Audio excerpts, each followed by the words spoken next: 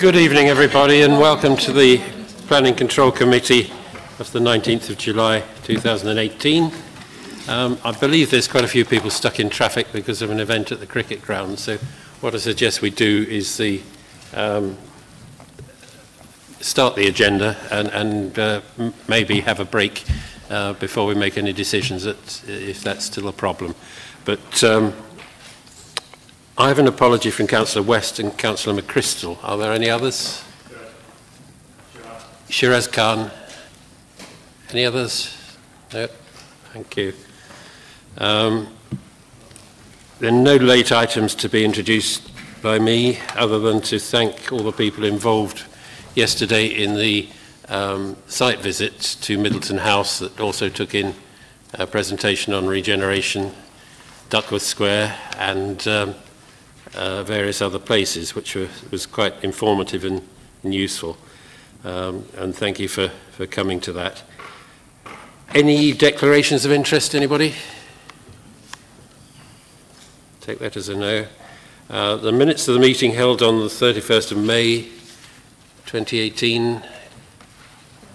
Everybody happy that they're a true record of what then and then took place? Thank you and the minutes of the meeting held of the Conservation Area Advisory Committee on both the 19th of April and the 14th of June. Uh, noted, thank you. Um, which brings us to the um, items to be considered. Item six. Is it your wish? I think we've got a few more people here. We're certainly quorate that we, we start to proceed. Um, does anybody know of anybody on the way?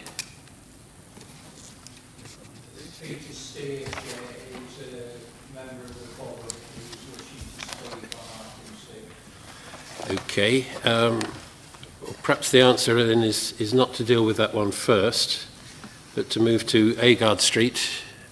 Um, here's Peter Steer. Forget what I just said. Welcome, Mr. Steer. We, we were just waiting for you. the traffic's awful, we know.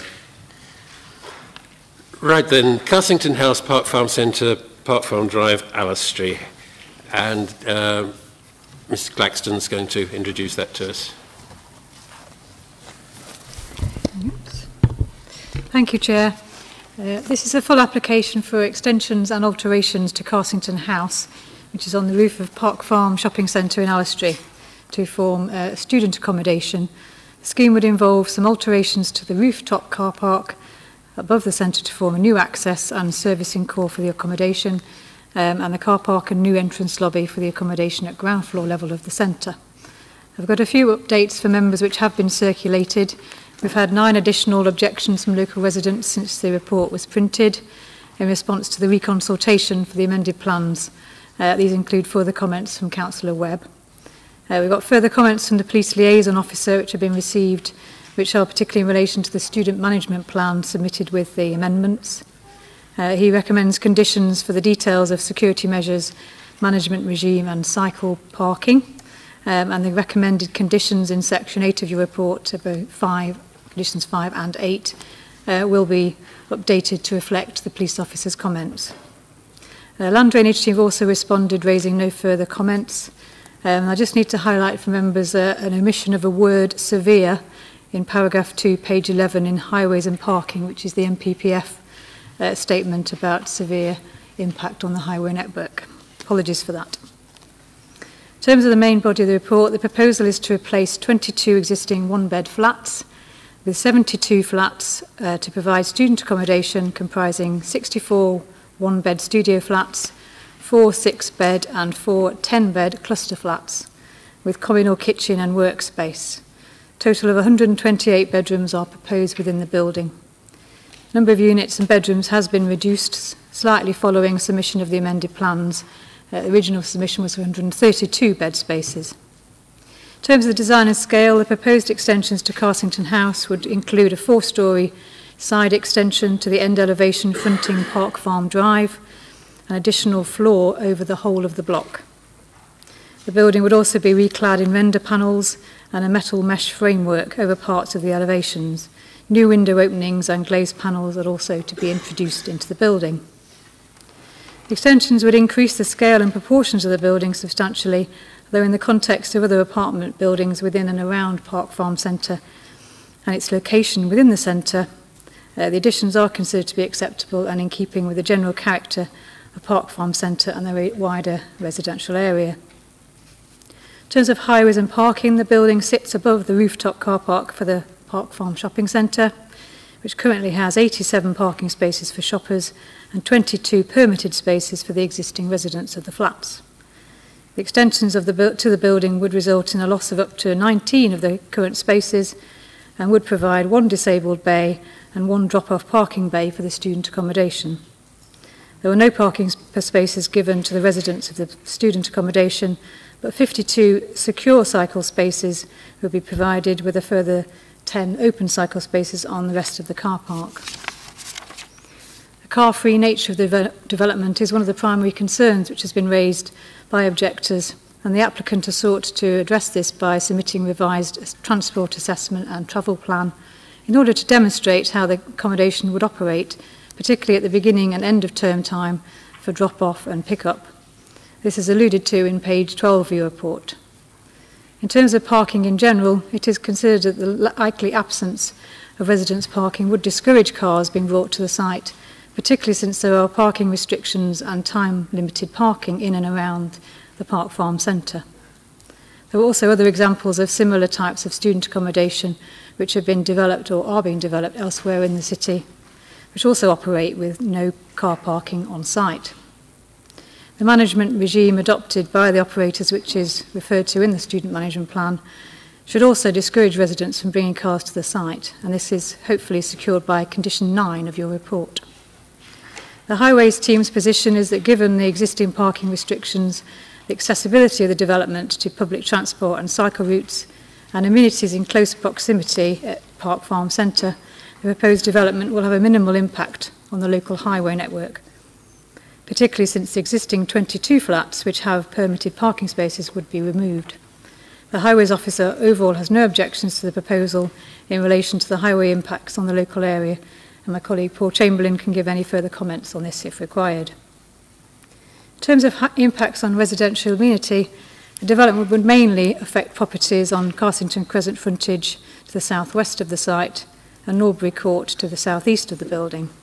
Minimum distances between windows of nearby dwellings are exceeded for this development, such that we consider there would not be an unreasonable loss of privacy or massing as a result. In relation to loss of daylight and sunlight to nearby properties, a study using BRE standards has been submitted in support of the application, which assesses the impact uh, on daylight and um, sunlight to those properties. The report concludes that the development would have a low impact on light to neighbouring properties and that it meets the BRE standards. We are therefore satisfied that the extensions and alterations to the building would have a limited impact on residential amenity. In terms of the living environment provided within the student accommodation, the Housing Standards colleagues have advised that it meets the minimum amenity guidance and the provision of study and common rooms in addition to normal living space is considered to be a benefit. Overall, the principle of a more intensive and larger scale residential form of use on this site is considered acceptable in this sustainable location. Park Farm is sustainable and accessible with a wide range of local facilities and amenities close to the site. The accommodation building is accessible to both the main university campus at Kedleston Road and the city centre. It will also deliver additional new housing on a brownfield site, contributing to the city's five-year housing supply. The proposal is subject to a Section 106 agreement with agreed heads of terms set out on page 18 and is considered to meet all the policy tests in both the adopted and saved local plans and the overarching NPPF. You have three speakers. Um, the first speaker is for the applicant, Mr. Arban of DPDS Limited, if you'd like to come forward. And like all the public speakers, you have three minutes. Thank you. Good evening, Chair and members of the committee, and thank you for the opportunity to speak. I firstly welcome the recommendation of the officer's report to approve this application subject to conditions. The report is comprehensive and I consider it, it sets out the key planning issues and that the proposals comply with the Council's planning policies. As set out in the officer's report, the site is located within an established district centre close to the existing local services and facilities and within easy walking distance of the university's main Kedleston Road campus. It is therefore considered a highly sustainable location for re a residential use of the type proposed. The proposal meets the criteria of Policy CP22 of the local plan, which seeks to support the continued growth of further education establishments. In particular, it meets criteria D of that policy, which supports and encourages the development of new student accommodation where it could lead to the release of existing accommodation for family or market housing elsewhere in the city. This is acknowledged as an important benefit within the officer's report. A significant number of objectives have raised the issue of the development being car-free. As I've already stated and as set out in the officer's report, the site is in a highly sustainable location with access to a variety of services and facilities. It is in close proximity to the university and is served by a frequent bus service to the city centre. Both the Council's policies and that within the NPPF seek to encourage development in such locations to reduce the use of private car. However, due to the car-free nature of the proposal, the occupants will be discouraged from having a car on site, and this will be managed through the residential travel plan and condition 9 as proposed in the officer's report. As the report before you states, there are already parking restrictions on the highways within the area and at Park Farm Centre. Therefore, the opportunity for on-street parking is limited. It should be noted that the High Council's own highways officer raises no objection to the proposal. Other objections are, have been raised with regard to the overall height, scale and massing of the proposed alterations and extensions. Negotiations with officers resulted in a number of revisions to the proposals as originally submitted. These have included changes to the materials palette, which provides a more con contemporary appearance and enhanced presence in the street scene. Revisions have also been made to the extent of the proposed mesh cladding, which has been reduced to lighten the overall bulk and massing of the proposals and break up the overall scale. I agree with the officer's conclusions that at present Carsington houses have limited architectural merit and the proposal would have a positive impact on its overall appearance and contribution to the street scene. With regards to residential amenity, Carsington House is some 28 to 30 metres from the closest dwellings on Carsington Crescent. Whilst an additional floor is being proposed as part of the development, this separation distance will remain and it is acknowledged within the officer's report that the window relationships with nearby houses will not be substantially greater than that which currently exists. In conclusion, I agree with the findings of your case officer. The proposed development is consistent with planning policies. It has been demonstrated that taking into account all material planning considerations, this application is sustainable and as such national and local planning policy is clear that development should be approved. Thank you, Mr Arban. Uh, can I ask Mr Steer to come forward? Uh, Chair, could I just clarify some things with Mr Arban, please? If it'll, if it'll help us come to a decision, uh, yes, if it can be brief. Certainly. Uh, Mr Arban, uh, could I just ask that the developers have been very keen to point out that the accommodation block is in walking distance to the university campus on nearby Kedleston Road. However, the university has a large number of such campuses throughout, the, throughout Derbyshire. There is no guarantee that these students housed in this accommodation will not have to travel large distances throughout Derbyshire to attend lectures. Isn't that true?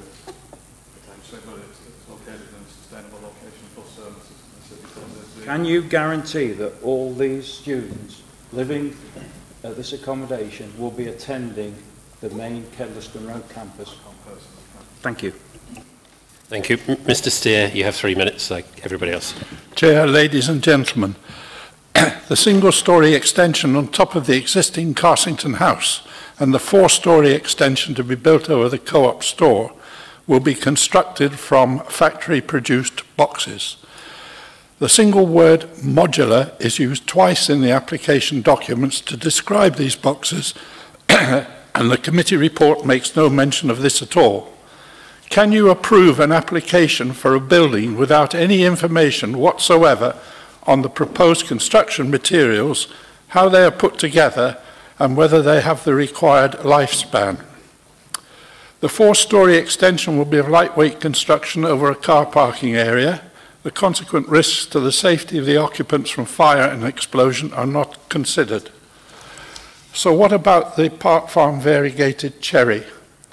The existing Carsington house and its single-storey extension are to be pale red render, with the four-storey extension to be slightly different in light red exterior panels.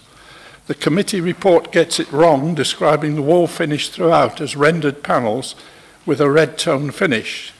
There is no explanation for the change from the, the original off-white finish.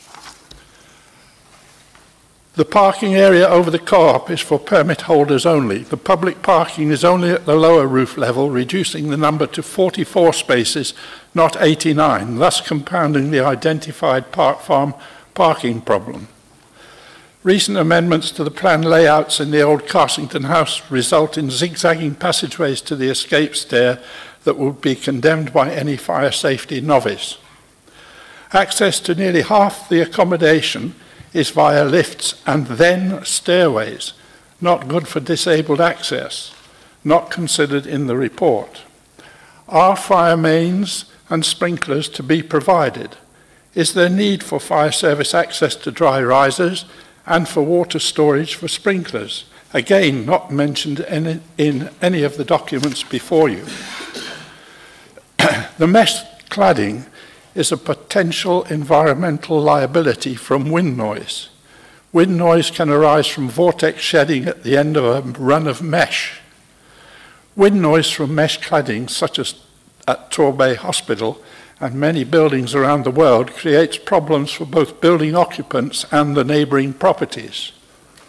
The long runs of balustrading on the long elevations can sing quite merrily, reference Grey Lynn in Auckland. Tonal wind noise from mesh cladding and balustrades is not considered anywhere in the application. This application cannot, in its present form, be considered acceptable. Thank you, Mr Steer. Uh, Councillor Webb, would like to come forward.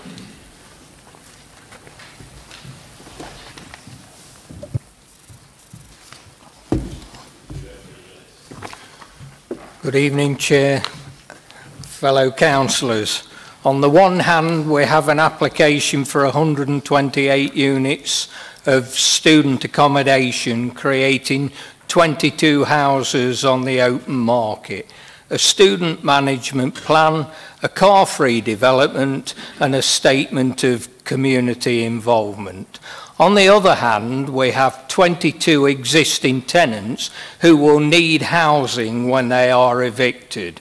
Net housing gain, zero. A mixed elderly and sheltered accommodation community wondering why in a student management plan there is so much security for student accommodation. Is there good reason for this?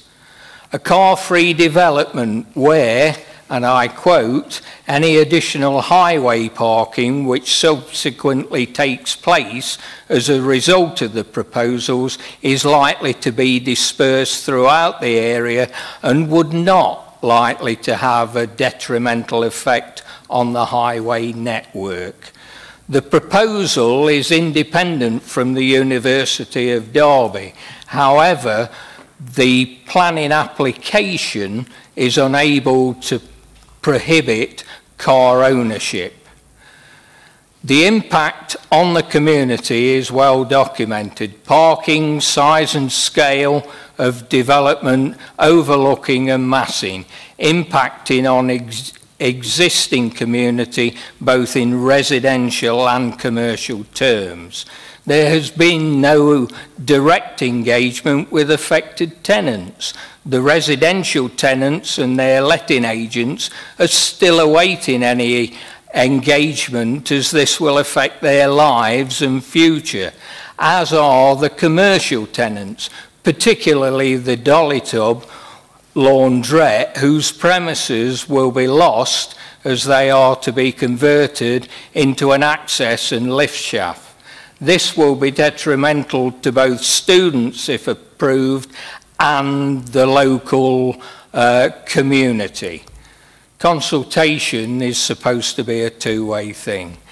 Can I suggest to committee this application fails on amenity and harm, GD5, making a positive contribution to the community, CP4, no net gaining housing provision, CP6, providing a high quality living environment, H13, why should students live in accommodation that would not suit any normal residential use and high quality architecture and integrated well into its setting, Thank you, Councillor Webb. CP3. Thank you. Thank you. Uh, Mrs Claxton, would you like to come?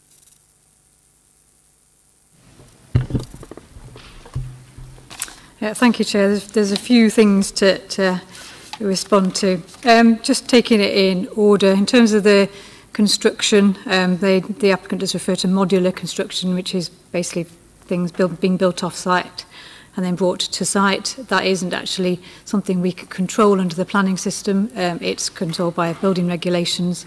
In terms of fire safety, again, that is covered under building regulations. Um, I know there was reference to sprinklers. Um, this isn't something we can impose by condition, but if you wish, we could put an informative note um, to the applicant to, to consider that as part of the development.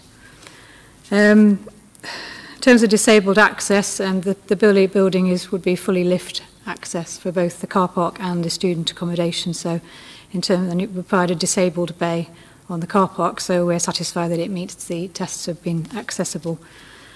Um, in terms of uh, residents to be affected, it is a privately owned uh, landlord. Um, we have no control over um, how they deal with their tenants. So in terms of the plan, that isn't a, an issue we can consider. And the security management system is something, and presume it's something is, we do often see with flat accommodation, uh, whether it's students or, or otherwise. Um, and in a location where it is on top of a shopping centre, um, it is something we would normally require whether or not it's students or not. So that's not just because it's the nature of the, the social group, it's just to ensure that there is a safe and secure environment provided for the residents. Uh, In terms of public consultation, um, we, we are aware that the applicant did do some pre-application consultation within Park Farm Centre. That obviously is down to them how they engage or otherwise with local businesses in the community. Um, so, so we don't have any control over that, but obviously we did do the normal uh, consultation um, and notification that we would normally do uh, as required under the Planning Act. Councillor Hassel. Thank you, Chair. Um, anyone who knows Allestree or is indeed a councillor who has a ward that has to deal with the effects of university parking will know uh, what a blight it is for residents and the, the local area. To say that this is a car-free um, development is, is or will be is, is a bit of a fallacy, really. I don't see how that will be policed. Um, there's been mention of that there is um, restricted parking in the local streets, but not beyond. So clearly, this just pushes the problem into those streets just beyond the restricted areas and causes even further issues. Within this report, um, it's mentioned that the extensions to Carsington House are substantial in scale. And clearly, uh, from what is currently a 22 um, bedroom flats development going to 128 bedrooms, will obviously bring a very large increase in, in, in numbers to the area. We should be mindful that this will put a strain on local services and infrastructure, like uh, doctors and dentists, and we should also be mindful that uh, student accommodation is not subject to council tax, which in itself will uh, add further pressure to the council and its services. Um, there doesn't appear to be any confirmation that these proposals are fulfilling a need. Um, I don't believe that the university has, been uh, consulted in this. Um, this committee has passed many student accommodation type plans in the recent past. Um, and clearly one that was most recently converted to a refugee type centre was property of the university previously, um, which clearly they didn't feel the need they, they, they needed at the time. For me, this is clearly uh, an investment uh, opportunity for properties to be converted in the future when the realisation that the uptake of um, students is, is low and will merely be converted back into uh, residential at some point in the future. For me, the biggest issue on top of parking for this is that we're talking about the displacement of residents. I realise within the report that displacement cannot be considered as a factor because they, it doesn't provide any specialist type of accommodation. But this is, these are people's homes that they've had for many years and purely turfing them out because someone wants to make money, in my view, is fundamentally morally wrong. I think overall this, this is an ill thought through proposal. I would object on the grounds of displacement. I do think there's, there's scope there for that. I do have one question that I would like answered. Um, it states within the report that the development broadly complies with NPPF and DCLP highway policies. It states broadly, but in what way does it not completely comply with these policies? Um, thank you, Chair. Perhaps you could address that from the highway point of view first. Thank you, Chair. Um, well, I suspect the word broadly shouldn't be in there, should it? That's, I think that's just a, someone's used the word broadly. Well, what, it, what, uh, what, MP, what NPPF says is that there's a presumption in favour of sustainable development. That's, that's what it says. And, and our own policy um, in terms of residential development, there is no standards for residential development. And what and what our policy says. In all cases, the individual circumstances of each proposal will be taken into account, and this is the important bit, including the realistic requirements of the users. So, you know, these are students in fairly small accommodation, the accessibility of the area by different transport modes and the possible impact on parking on the transport network, and that's what you're interested in. Um, in terms of impact on the network, Now, this development isn't, we're not starting from a, from a, a, a blank um, a blank sheet here where nothing's uh, nothing can be attracted to here. So we've got 22 apartments which currently exist and they're going. So there's visitors to those. There's an A1 unit, so a retail unit, which is going. There could be visitors to that. And there's also 603 square metres of office, which could be used. So You could have all of those visitors to that. So that, that could happen now without any consent. Um, so I think what my colleague was, was saying there, it's a reasonably short walk to the uh, university. Um, there is good public transport and consequently it's a sustainable development and taking into account our policy, I think it meets it. The word broadly shouldn't have been there. Thank you. Um, Councillor Rawson next, but just before you speak, um, Mr Teasdale is going to give us some legal advice. Yeah. Sorry, um, I just wanted Chair to actually pick up on one point that Sarah didn't actually cover in terms of uh, comments from from the speakers. Um, uh, I know Ms, Mr Steer actually mentioned about um, the problem of uh, noise uh, created by um, he suggested the, the construction, sort of the panelling.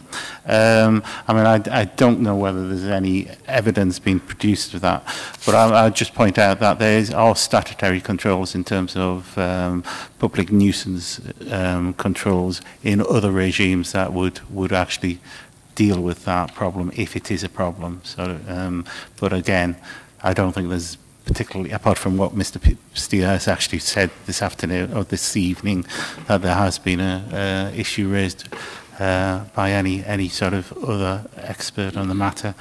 Just, while I'm actually speaking, I, I just want to also sort of just come back on, on what Councillor Hassel was saying in terms of a couple of points.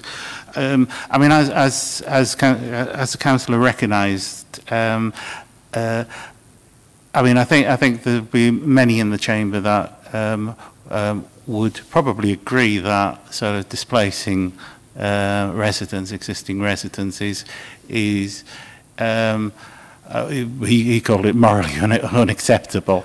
Uh, but I, certainly, I, I suspect there'll be many in the chamber that sort of um, uh, may feel uncomfortable on, on that.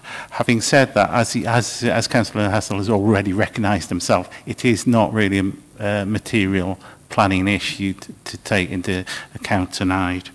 Um, I think just a couple of other, other points. The, in terms of car-free um, side of things, in terms of enforcement, there will be a condition on that. Again, it, one can't guarantee how, how effective enforcement is on conditions, but, um, but it, it, it, with any condition, it's largely reliant on a problem arising. And if a problem does arise, there is a condition there that hopefully will, will resolve the issue. Um, I think, yeah, I think that's all. all thank you, Chair. Councillor Rawson. Thank you, Chair. Um, I think um, in, in principle, I don't have uh, an objection to this, this application.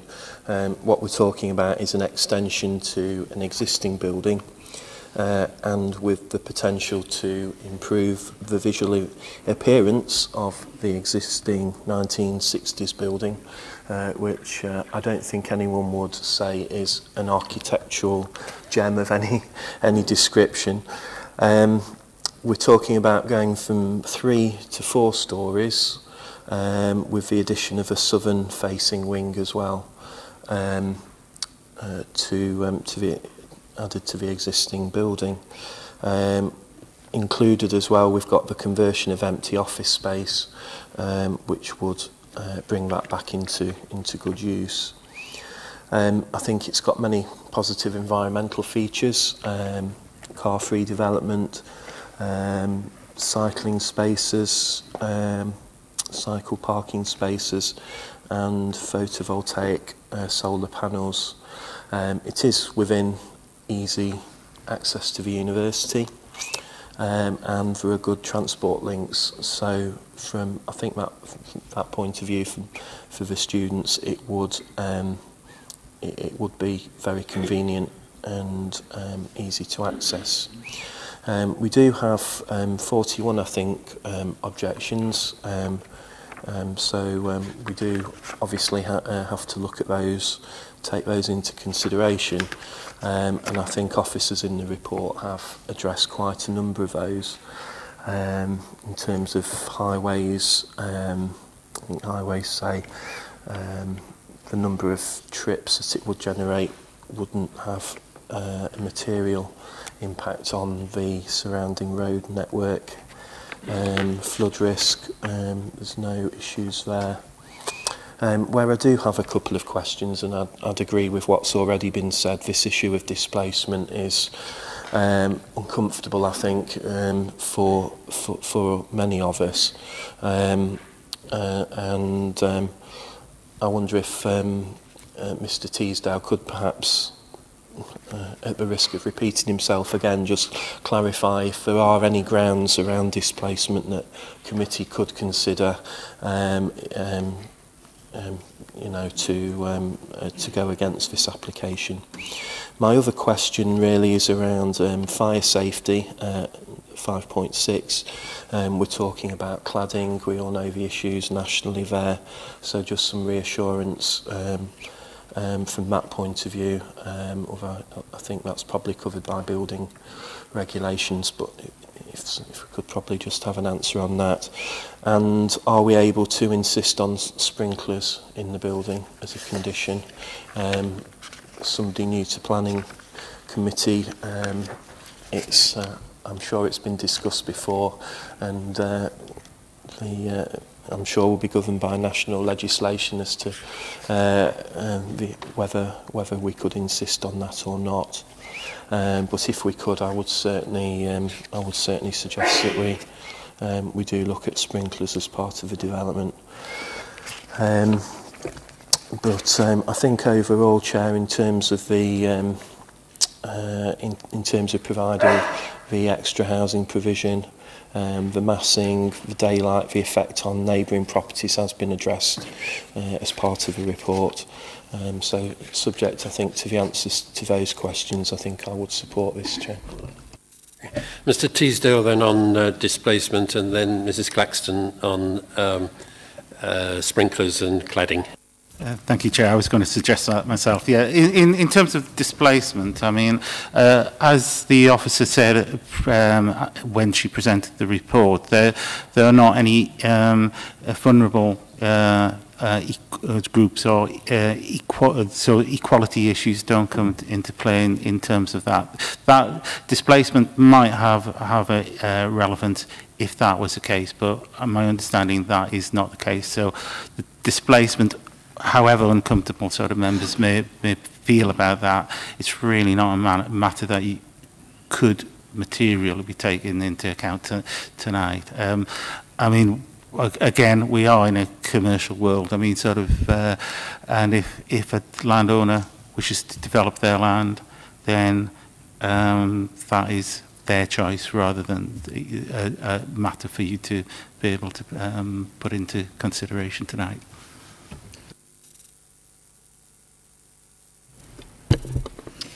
Yeah, in terms of the cladding, I think we, we have been through this before in other developments, and there is a, uh, recognised concern about cladding. Um, it is covered under building regulations, so you know we only look at the appearance and design, but we're not able to look at what it's actually constructed of and whether it complies with fire safety regulations. That is beyond our remit. Uh, in terms of sprinklers, as I said, we're not able to condition it, um, but we can attach an informative note uh, so the applicant that members would uh, like to see it included within within the building.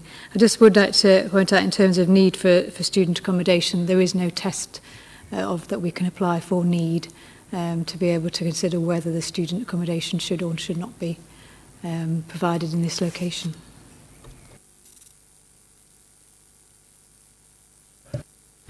I, I'd certainly appreciate having a note put about um, sprinklers in, and I hope that they will listen to it. But I, I think it's going to be quite difficult to gain access to that um, upper levels of that building from a, even one of the long um, fire, what do we call them, high, high level, whatever. Uh, the, um, I think this mesh sounds really strange. I don't know if, I, I presume that planning officers have seen examples of it. I'm not sure what it'll really look like. Um, but if you've got any more comments about the visual impact of, of the mesh and why that sort of thing would be chosen, um, I think that would be helpful to me at least. Uh, in terms of the trans... Yeah, but it just looks weird. It just looks like a scaffold. It looks as if it's, looks as if it's half built and it's permanently half built. But what's, what's its function supposed to be? What's its purpose? Why is it, why is it being done like that? Is it to provide shading from the sun, um, and therefore does it have a function in in temperature control? You know, if, if you know why it's there, is it, has it got structural elements underneath it which help provide support for the new, the new floor? Floor, you know. I just wondered if, if we have any answers to those sorts of questions. It might make it a bit more might add some um, comprehension to its choice. Uh, there might be some very good reasons for it. The, my um, transport, though, is, is for me one of the biggest issues. I think that the building, the existing building, is fairly ugly when I've been there, and I think it probably is in need of major refurbishment, which this would provide an opportunity for. Uh, it is a bit bulkier, but it is some distance from other houses, and it's from the point of view from where we're looking from. This is this is the north view of the building. So it's not going to have a major overshadowing effect on the existing properties which are in this direction, which are considerable distance away. It will have more of an effect on the, the Park Farm Centre itself um, and provide shading to that and to the, the properties, some which I think are bungalows, to the, the west. Um, but it, it is some distance away. But the transport is, I, I think, a bit more of an issue. If, I, if there isn't sensible signing, somebody visiting here wouldn't know that there was spare, there was cycle parking available on site. So cycle parking signing, so that when you're visiting somebody there, you know to take your bicycle up and not park it in Park Farm, would be helpful, or on the street. Um, and that's a minor point, but I'm sure it can be looked at. Um, but I'm concerned about how cyclists gain access to the cycle parking. I haven't seen any plans about whether they share the, the car entrance ramp, whether there are going to be safety issues there for the 52 cyclists and the 10 visiting cyclists conflicting with the cars. And if that's not been explored, then I would like to have some knowledge about that in terms of conflict and safety. These are going to be residents in a residents only parking area. Are they going to have access to visitors permits so that their visitors who come by car would be able to gain access, be able to park on the nearby streets?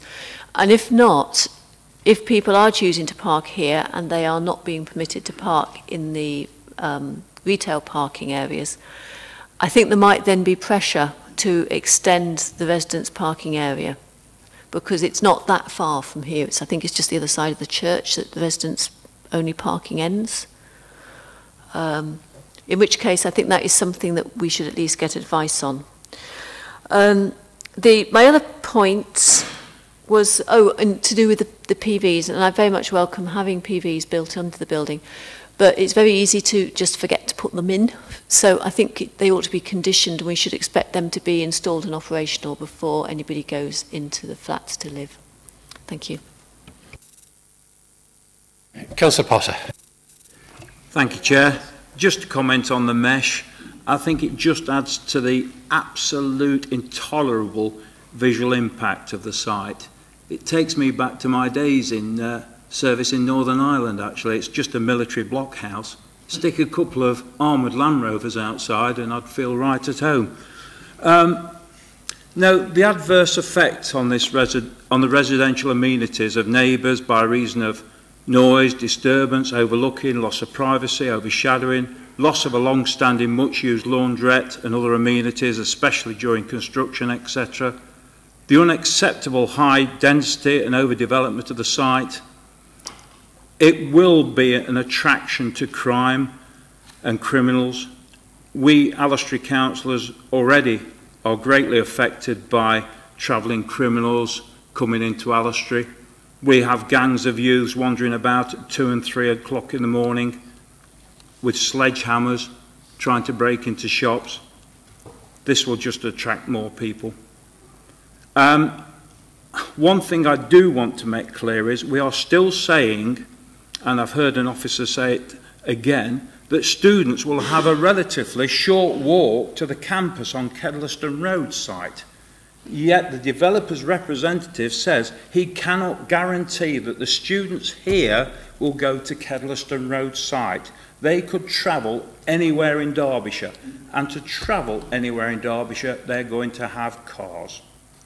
We, Allestree councillors, already know the problems of car parking in Allestree. Yes, there are restrictions, but they're very rarely enforceable. The police can't enforce it, the council struggle to enforce it. It will have to be that Allestree becomes a totally no car parking zone apart from residents and visitors. Carsington Crescent already has 76 per hour, 76 vehicles travelling against the restrictions placed thereon. The police tell us they are powerless and they point the finger at the council. It's your problem, you sort it out. We can only put a sticking plaster on a wound. So what do we do when all these students come? What sanctions will be placed on students who bring cars? Will they be told to go from the site? Will they be expelled from the site? Who knows? Um, We've already mentioned, or we've already heard from Mr Steer about the design, including bulk and massing, detailing and materials. I believe, and I agree with him, it's totally out of character for the existing original traditionally built structures, which will allow a far more open plan estate to be enjoyed by both residents and shoppers alike. Let's look at this pedal cycles. Yes, there are spaces for 70 pedal cycles, but we Allestree councillors already know of the problems that pedal cycles cause in Park Farm. It's inundated with cyclists. It used to have restrictions that you couldn't ride a cycle through Park Farm. Thank you, Frank. But now these restrictions after refurbishment have not been replaced. So bikes are regularly dropped by their riders outside chip shops, outside the newsagents, outside all popular shops, causing trip hazards for residents. They are absolutely terrified. And now we're going to possibly add 70 more. Park Farm is an area which and where car drivers, pedestrians and pedal cyclists come together. We've had, already had in the last 12 months three serious road traffic collisions around Park Farm, one of them being a fatal.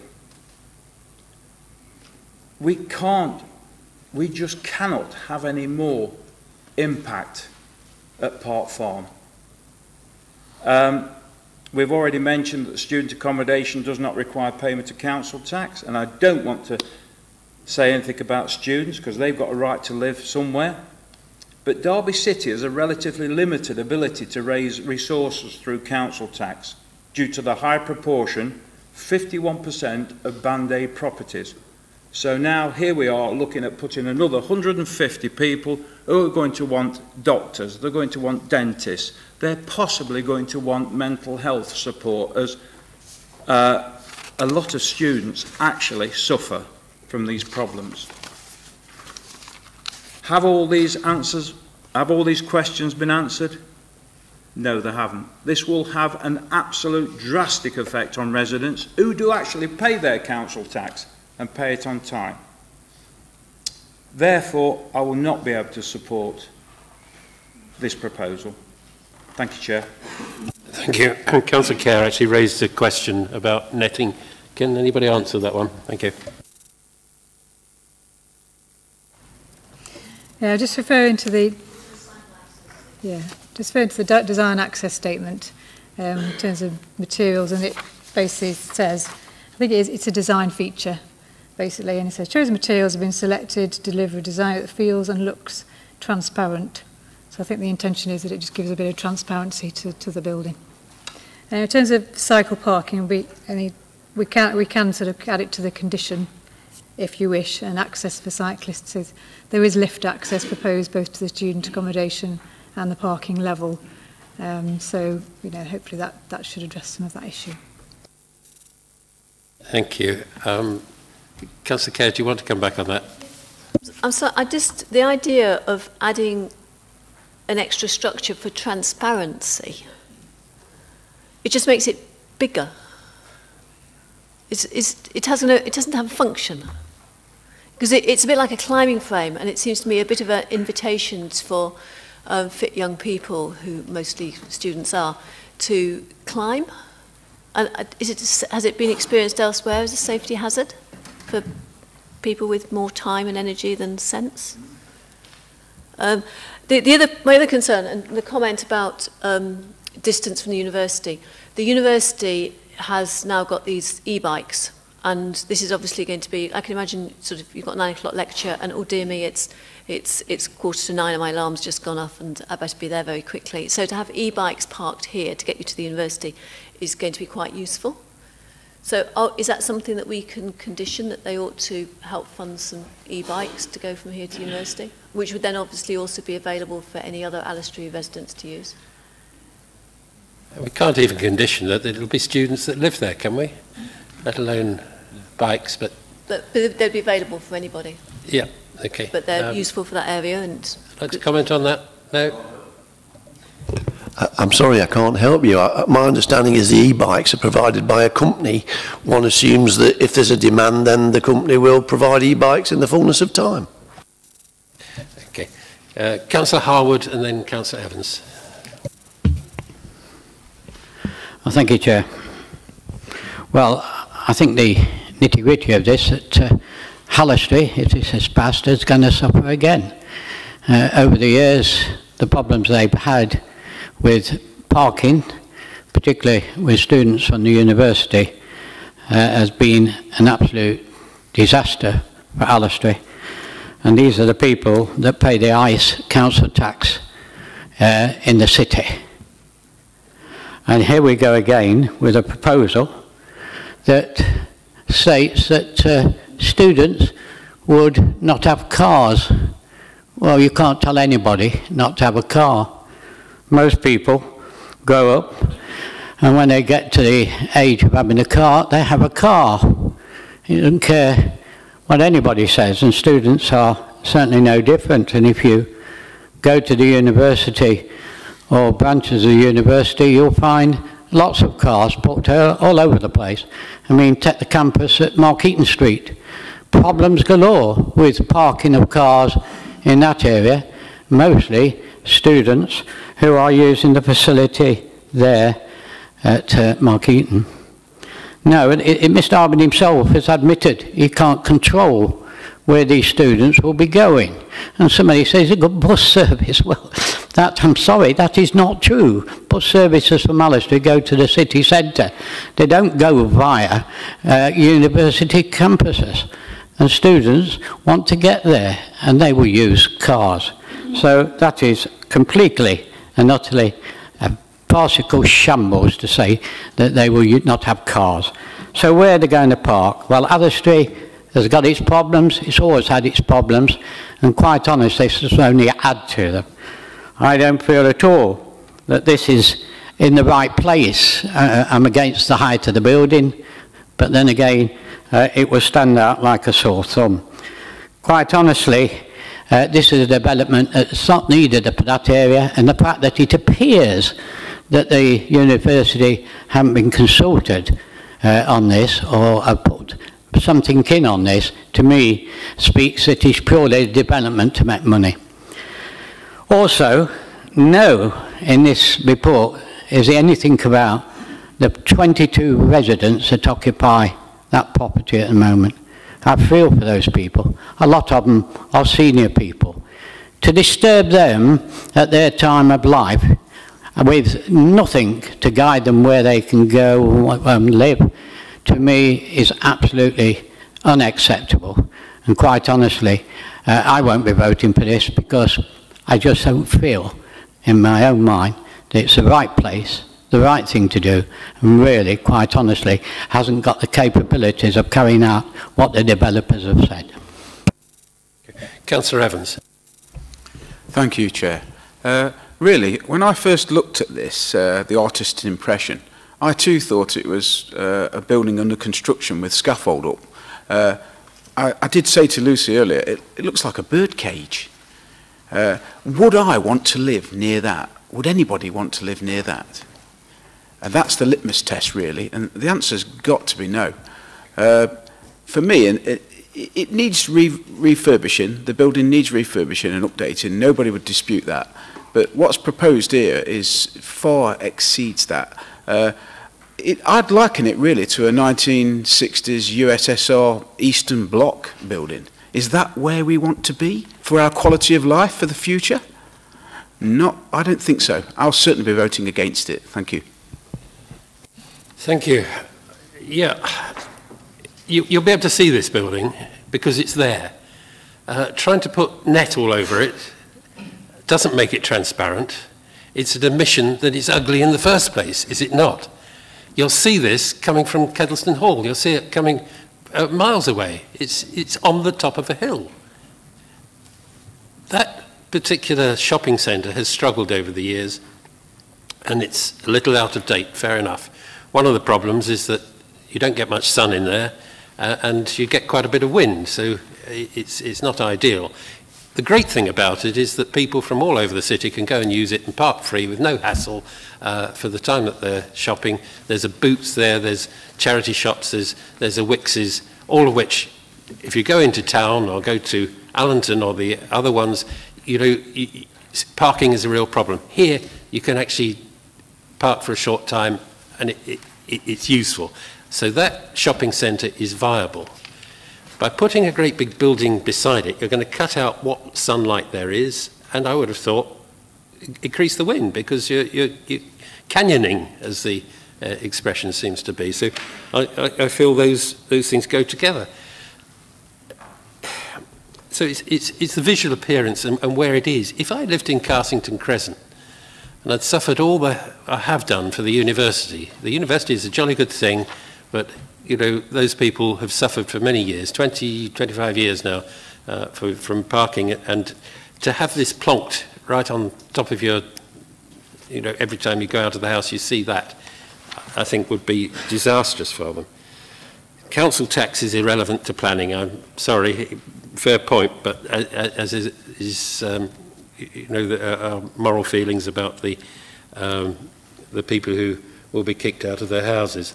Um, Councillor Potter did raise points about mental health and so on. Um, that is actually covered on page 18 um, as one of the requirements of a Section 106 agreement. So um, our officers have kindly thought of that. Does anybody else wish to speak from the committee? Councillor Care. I don't think it'll make any difference, but I've got no been had no reassurance about the, the safety and conflict between cyclists and um, motorists gaining access to the cycle parking. Does anybody want to answer that? Uh, uh, Sarah said that we could deal with that, expand the condition to deal with that, Councillor Care, and look at the, the details of that, if that is a concern. That, it, it may or may not be achievable in a, in a safe But it's manner. something we could have as a pre-commencement or pre-occupation condition.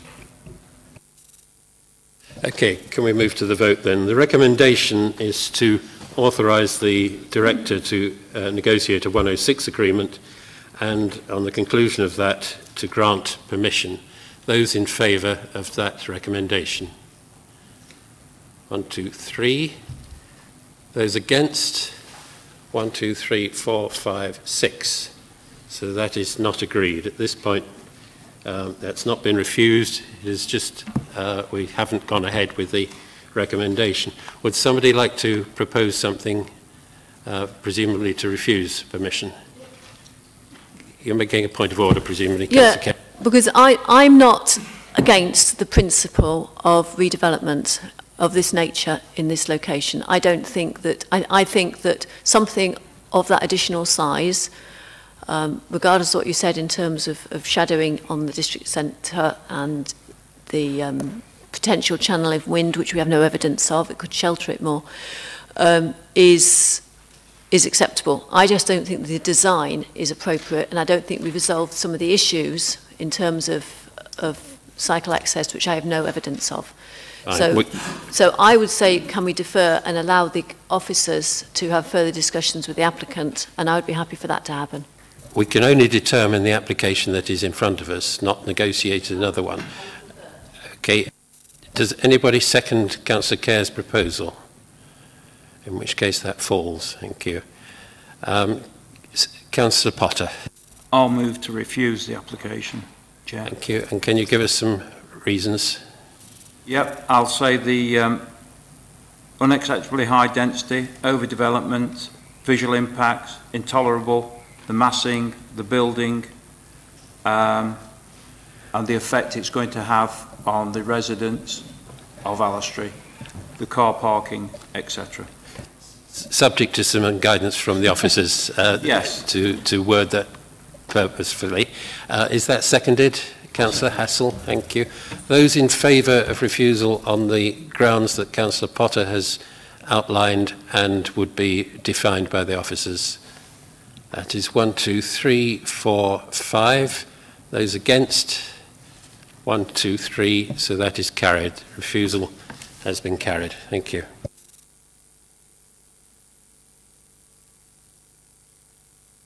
on then to Agard Street. I'll give people a chance to leave.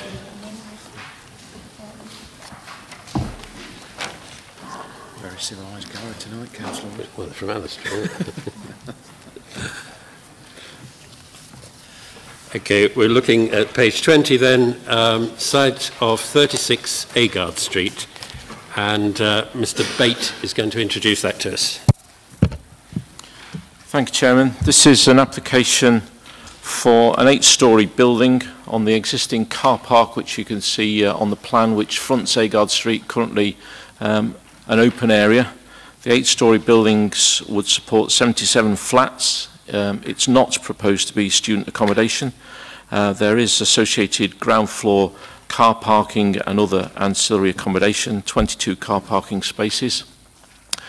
If we move on to um, the next slide,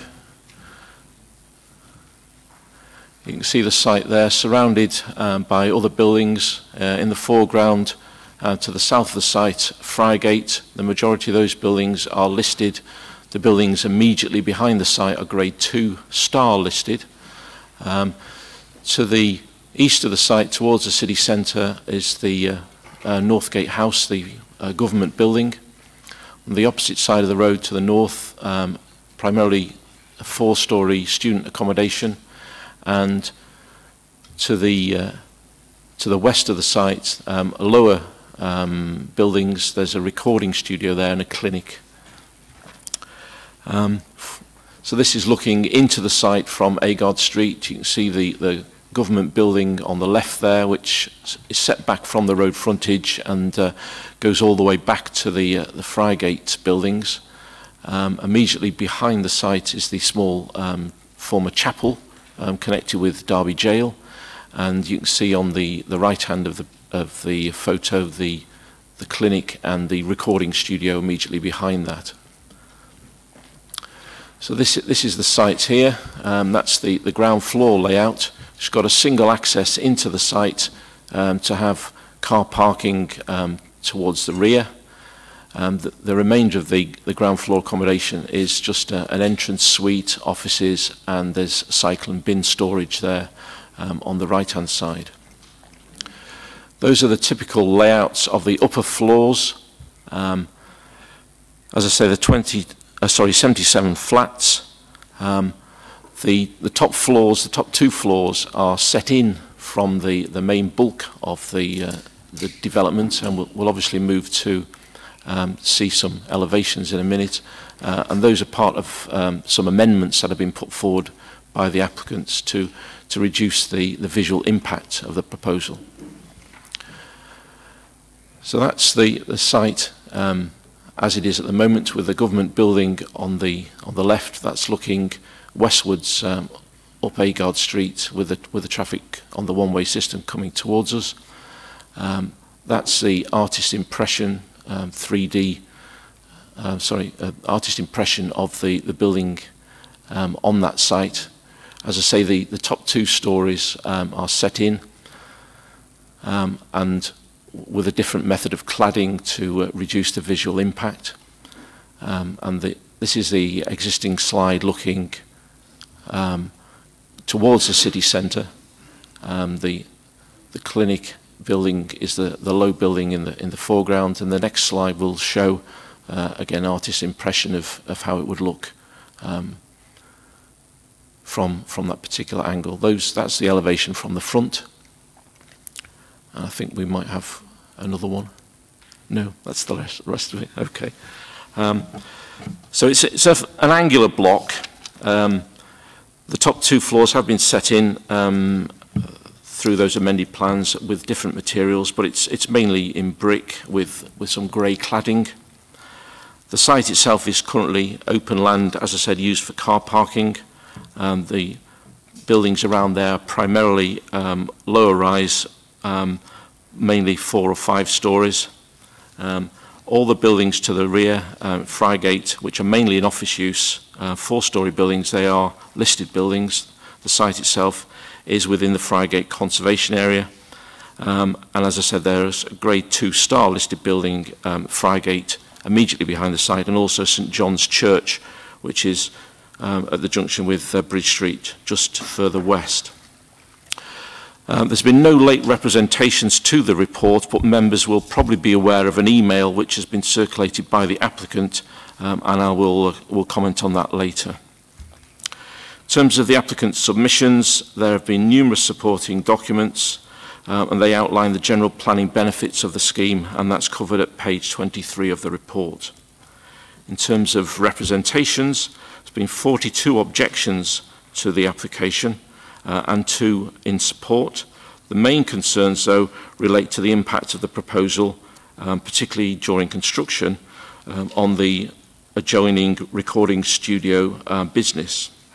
Uh, there's also been strong support for the proposal from Marketing Derby, um, and their comments are listed at page 24. In terms of consultation responses, there have been strong objections on heritage grounds, both from our own Conservation Officer, from the Conservation Area Advisory Committee, and importantly from Historic England. Environmental protection have got concerns over noise nuisance, which could be the subject of a condition. Uh, also in terms of land contamination, which may need further investigation. But primarily there are concerns over the impact of the proposal on air quality and the potential of what's called a canyon effect of the proposal um, because the building is set very close or would be set very close to the road frontage um, and environmental protection object to the application on air quality grounds. The Council's regeneration team support the proposal and they say it would complement other regeneration development projects. There have been no objections from highways subject to conditions um, that would include the approval of a travel plan. And there have been no objections from other constituencies such as land drainage and the county archaeologists. As I say, members have been sent an email from the applicants which, as you would expect, puts forward supportive comments and you'll be hearing from the applicant's heritage consultant uh, in a moment. As the applicants state in that email, the decision before you tonight is primarily one of balance between the impact of the proposed development on the surrounding heritage assets and the perceived public benefits of the proposal. As I say, the Council have been advised by both Professional Conservation Officer and by experts from Historic England. Um, Historic England conclude their comments by stating that the proposal would constitute an inappropriate and intrusive development that would result in harm to the significance of a number of listed buildings and would have a harmful impact on the character and appearance of the Friar Gate Conservation Area. So turning to the planning issues themselves, firstly, the principle of the development uh, is probably acceptable. It, it is an unused brownfield site, and if it's supported, it would contribute to the housing mix and the windfall housing allowance. However, the po positive benefits, which would include any public benefits, must, as I said, be balanced against other issues, primarily the impact on heritage assets and the creation of a high-quality living environment for future residents. In terms of the impact on heritage assets, the heritage bodies conclude that there is less than substantial harm caused by the impact of the proposal on the surrounding conservation area and those listed buildings. However, this harm must be weighed against any public benefits. Those are set out on page 46 of the report, and officers consider that those benefits would not outweigh the harm, and that is primarily the first reason for refusal that we're recommending. In terms of the design and visual, uh, visual impact, um, it is accepted that the amendments have improved the visual appearance of the proposal, but there remain concerns over the height, the scale and its massing, particularly in terms of the position of the block very close to the highway and the impact on the surrounding lower buildings. The proposal would be very dominant and have an enclosing effect on the street scene. In terms of other amenity issues, of particular concern is the impact on the adjoining recording studios and also how the street canyon effect of the development would impact on air quality. And as set out above, uh, environmental protection maintain their objection on air quality grounds. So the recommendation is to refuse on those, those uh, three particular matters. If, however, members are minded to approve the scheme, then I would suggest that the decision would need to be deferred to allow negotiations for a Section 106 agreement to be agreed uh, in respect of any developer contributions, but the recommendation as it stands is to refuse. Thank you, Chairman. Thank you. Uh, we have Mr Phipps uh, from the uh, applicants. Would you like to come forward? Like everybody else, you have three minutes.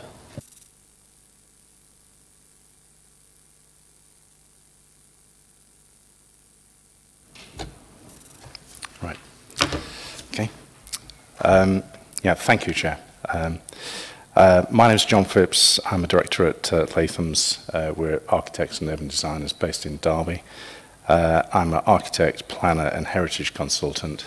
And uh, in terms of this scheme, uh, I have provided the applicant for 36 Agard Street with heritage, townscape, and visual impact advice. Um,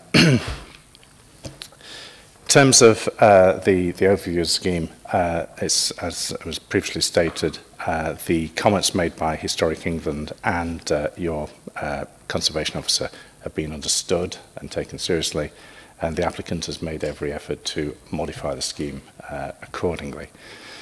Um, the uh, detailed evidence which uh, underpinned our visual assessment uh, of the application site and the surrounding area uh, objectively identified where possible harmful impacts upon the historic environment may be located. Uh, in my view, the undeveloped site presently at 36 Agard Street is harmful to the character of the conservation area as it stands uh, and to the setting of the rear of uh, 47 to 51 Friargate. Uh, Agard Street as a whole, although it falls within the boundary of the conservation area, is of very little uh, uh, townscape or heritage value, as you'll note if you walk down it and the previous photographs uh, indicated, uh, despite the fact it's in the conservation area boundary. Uh, and it's acknowledged that Agard Street as a whole is an area in uh, a process of flux and change. There's been several applications put in and there's been several approved and developed schemes. Uh, the scheme is, as it stands, the proposal is not invisible. Uh, clearly, it's, you can see it, and, uh, but being seen in a conservation area does not necessarily equate to visual harm. So that is uh, something which should be borne in mind. Um, the principal heritage asset within the conservation area is the Friargate frontage, the uniform and consistent uh, townscape composition of Friargate is uh, the critical asset, and that is not harmed by the application. You cannot see the scheme from any point on Friargate. We've tested that, and it's, the evidence has been provided. Uh, it's acknowledged that there are some secondary views uh, from beyond Friargate uh, where the scheme will uh, be seen and it will lead to uh, possible harm, but it will be less than substantial uh, minor harm. Uh, and as said, you can't develop schemes without them being seen, so just being seen does not equate necessarily to visual harm. Uh, whilst we respect the views of Historic England and the um, uh, um, Conservation Officer, we do not agree with their assessments uh, of harm uh, which in both cases are very thin on identifying where heritage significance is located. I have to stop you there. Thank you very much. You've had your okay. three minutes. But clear on the impacts. Okay, thanks. Mr Bate, would you like to come back on anything that's been raised? Thank you, Chairman. I think the, the only thing to say is that I, I probably agree with what Mr Phipps is saying, but he, he has conceded that there is less than substantial harm, and that, that is precisely what our report says. It's, it's the balance that has to be then put in terms of whether there are sufficient public benefits from the proposal which outweigh that harm, um, officers believe in the recommendation to refuse it, that, that there aren't benefits there, and that, that's why we're recommending refusal. Thank you. Thank you. Members of the committee, Councillor Howard. Uh, thank you, Chair. this proposal is to replace one of the eyesores of Agard Street, the government building. Or, or well, it's next to it. Can, can I just correct you? That yeah. government building, which didn't need planning, ah, well, uh, that's the point I want to make. Remains. Yeah, it's empty, okay. but it remains. Yeah, it, it, right, it may not replace it, but certainly that building is an eyesore, the bigger eyesore than anything else that can be put in Agard Street, in my opinion. So, will this make any difference? Will it improve? No, it won't, but certainly won't be any worse for it. And I agree with the uh, people that like Marketing Derby, who are in favour of it, and a resident who also makes a comment in favour of it on page 25. I, I feel that already there are many buildings in this street that I was, was against, but they went ahead. And I don't think this is any different to those. Yes, I know what the officers are saying, but I don't think this building will make any difference whatsoever in that area. And in view of the fact there are many buildings already similar, then in my opinion, how can we turn it down? And I certainly will be voting in favour. Um, Mr Teasdale is going to advise us. Yeah, I, I think I just need to clarify in terms of what uh, you probably need to focus on in terms of the the initial sort of consideration. As the officers point out, uh, pointed out, uh, the, the heritage officer, uh, officer, the um, English heritage, uh, historic England. Sorry, now I'm, I'm living in the past a bit. Um, have, have sort of given you sort of a clear indication that they think there is harm, albeit less than substantial harm, and, and even the applicant's uh, um, consultant tonight acknowledges there's less than substantial harm. That, that raises a presumption against grant. You've, so the test that you uh, to overcome that is to look at what the public benefits are against the, the harm. And if the public benefits do not overcome that harm, then, the, as I said, the presumption is to, uh, to, to refuse. Sorry, did I say to grant? Uh, to refuse. So, um, so I mean, effectively, it doesn't really matter uh, if the building um, is hiding something else or whatever. It's a public benefits that you're looking at. And, and they, as, as the officers said, have been listed at, at para, uh, on page 46. You've got to consider whether those overcome the harm.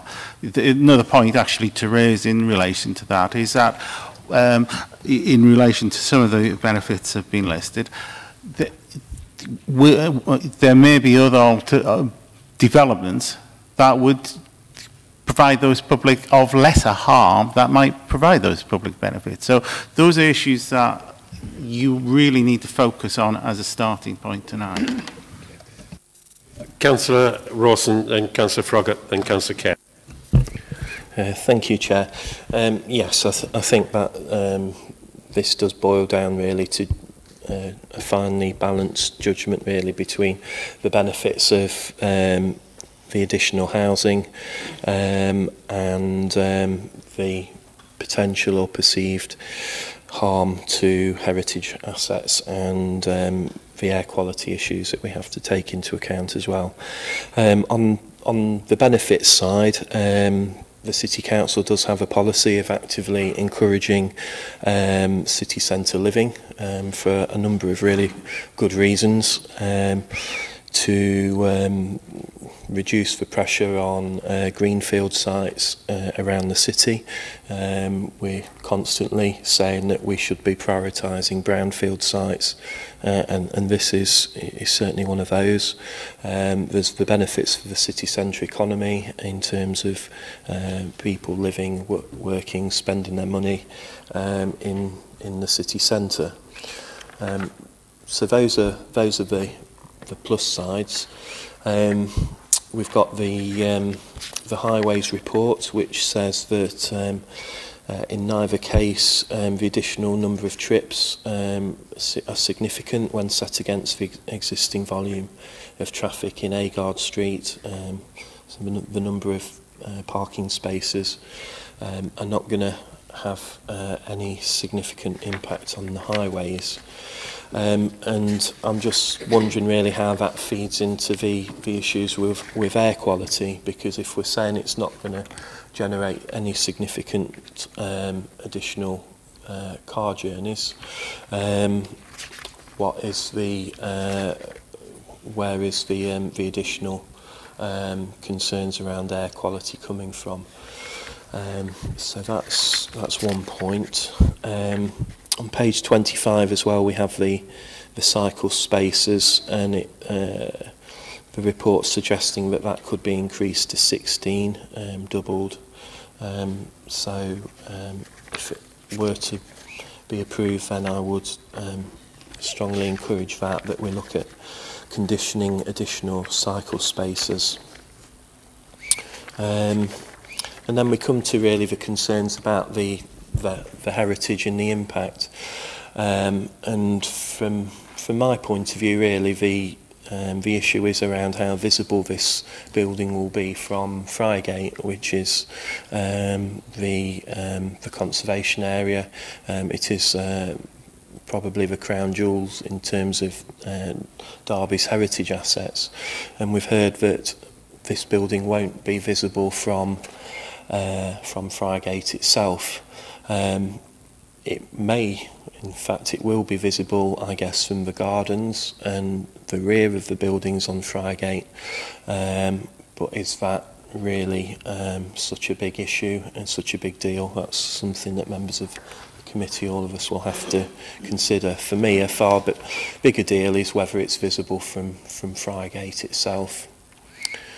Um, so that's, uh, that's that point. Um, I've got a bit of a concern as well about the, the sort of the, um, the cladding on the, the, um, the second to top floor. Um, we've had discussions about this in the past really um, and whether that adds to or detracts from the um, appearance of the building. Um, my, my own personal view would probably be it would be better to um, to continue with the brick facade um, right up until the top uh, top floor.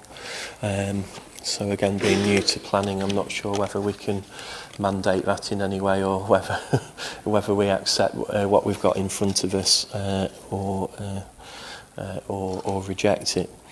Um, so the um, just finally finishing on the air, air quality issues and it, it talks about this street canyon effect. From the picture we've got in front of us on the screen, it doesn't actually look too much of a, a canyon to me. It's, we're considering this one application here this evening. There may be future applications for other buildings along uh, Agard Street in the future, um, which may or may not create a canyon effect. Um, but um, my view would be we're considering this application and not trying to look forward into the future as to what, what may or may not be coming. So um, I um, personally can't, uh, can't see um, the can so-called canyon effect that's mentioned um, um, providing um, being, being particularly relevant to this application. It's this one building we're looking at and um, I'm not convinced that that creates a canyon effect. Um, the other point as well is in, in terms of air quality, the council's obviously got to take steps to, um, to address that um, through um, uh, government uh, is, is mandating that. Um, so I, I don't also understand why this particular application is being singled out for mention in terms of air quality. Um, as I've said, the, there's no extra car journeys been identified from it. Um, you could say that too. Uh, you, um, you could apply the same principle to any uh, built application that comes forward in the city centre.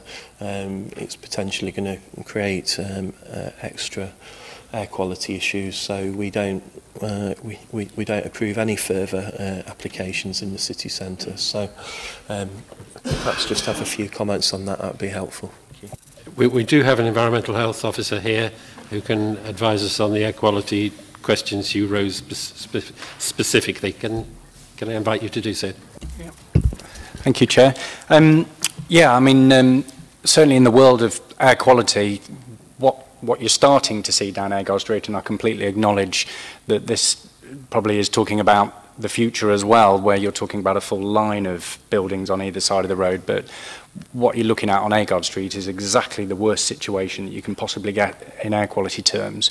You're getting a narrow street, and you're getting high-sided buildings on either side. Um, and what that means is that, um, and also what you're getting is a lot of traffic, and particularly what you do get on Agard Street, which is also a, a big problem, is queuing traffic. Um, so all of those things together make it pretty much one of the worst, worst, worst sort of situations you can get for air, air pollution. Um, and what the reason for that is what we've got on Agard Street at the moment is already a poor air quality situation. It's within our City Council air quality management area. The levels, um, particularly of nitrogen dioxide, are already very close to the national objectives for nitrogen dioxide. Um, and what you've already got on one side of the street are relatively high-rise buildings. And what this would do in that particular location is put another building very close to the road And it, what it does is it limits the dispersion. So what happens in effect is all the emissions coming from the vehicles, it can't just disperse away into the space that there is now. It down what is called, what's called a downwash effect, and it, in effect, the pollution just turns in on itself and blows back into the street. Um, so, you know, it just it stops the air being able to disperse. Um, it's a double fold as well, because obviously the creation of the building causes that effect. But what you're also doing, of course, is you're introducing new receptors, new people, new occupants of a building that wasn't there before into a location where we know that there are already air quality problems. Um, and the third issue is, of course, that you've got already got occupants on the other side of the street in the residential um, flats, the four-storey flats on the northern side. Um, and what's happening is that because it's creating the canyon effect, it is then increasing the pollution levels for those people as well. So it really is kind of a mix of the worst circumstances you can, you can possibly think of, really, um, in terms of air pollution. I appreciate the development itself isn't really adding to air pollution in terms of traffic numbers, and that's obviously that's a positive. Um, but but because of the fact it's introducing new receptors, new people living there, it's exposing people to levels of pollution that we already know are bad plus the creation of building is increasing those levels, um, and, that, and that's the reason for the objection. Thank you, that's very helpful. Uh, Councillor Froggatt. Thank you, Chair. Uh, Councillor Rawson has covered a lot of my points, thank you. Uh, I am a little confused with the air quality, especially with the clean air zone coming in before much longer. Surely that should have an impact. Um, also, I know it might be a bit further down the line, but if this does get permission, as a regular driver down Agard Street, with if the works do commence, can we ask the Highways Development Control Centre to open the bus lane to traffic turning right at the bottom of Frygate instead of everybody getting stuck on Agard Street, please? As in the last development. You make a very valid, valid point, and I sympathise with it. However, it's nothing to do with the application, but uh, it's been heard by the relevant officers, whom I'm sure will be out there tomorrow morning with their cameras.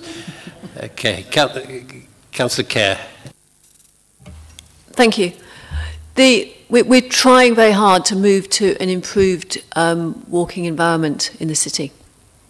And this has got loads of people already living on this street where where the walking environment is, we've already heard, pretty poor.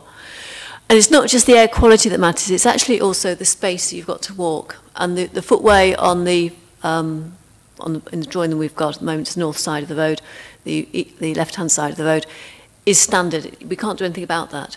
At the far end, where we've got what is now the university building, they've actually been a bit more generous and there's a bit of extra space being provided for pedestrians there. So at the very least of a building like this, and if we imagine that we've, we've now got only electric vehicles and we haven't got a problem with, with nitrous oxide problems and whatever, then I think we should be saying we want to set the building back, not by the 15 metres to solve all the air quality issues, but at least sufficiently so that we can actually enable people to be walking in a space that they want to choose to walk in, rather than feeling they're forced to walk very cl closer to people than they would choose.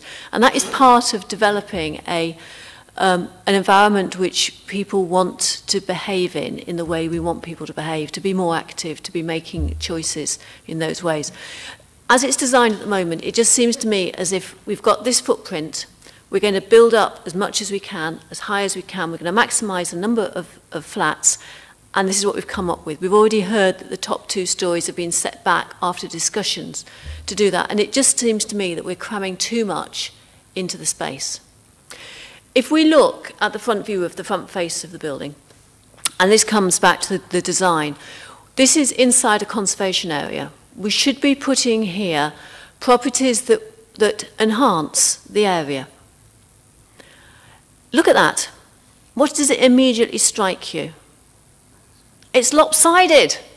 Why haven't we got a plan that actually gives you some sort of symmetry to a building? If we're going to have a building, can't set, set, set, uh, sit back very far and look at it because of its location too close to the road. But if we could sit back and look at it, why are we building a brand new building which is aesthetically not quite symmetrical? I, I think it's done because we are putting 11 flats on each building, on each floor, and that works better for the flat layout. But that shouldn't be our priority for a conservation area. if we're going to put a building there, and I'm not dead against the size of it, it I think it's a bit too, it's too close to the road, but not, uh, if we have, if we don't have an air quality problem, it's not too, too close to the road. It just needs to be a bit further back to be giving us sort of space to live in. But for me, a conservation area design needs to say it's got some architectural merit. And that, for me, I'm sorry, that is an absolute no. And for me, I turn it down on design, non-symmetrical design in a conservation area is a problem. I've also got other issues. Um, the air quality, I do not think we've solved, and I think the air quality is something that we would need to think about for people walking through the area, not just living in those buildings. And the existing dwellers on the other side who aren't going to have enhanced air conditioning or something because we can't condition that for the building on, that already exists. Um, I think secondary views do matter. Um, but we haven't been shown them. We haven't been shown a fly-through, and I think to have had a fly-through of this building that we've had for other larger buildings has been helpful in the past. Um, I think the cycle parking, there are a few issues about as well in terms of the numbers. We need to look at that. I'd like to know if we're getting a PV or a green roof on this building. Um, but for me, I'm sorry, conservation area, let's build something that we'd want to look at. Thank you. Um, I, perhaps I can echo Councillor West when she was here a couple of meetings ago and said, if we're going to have conservation areas, uh, why bother with them unless we're there to protect them? And I think she was absolutely right.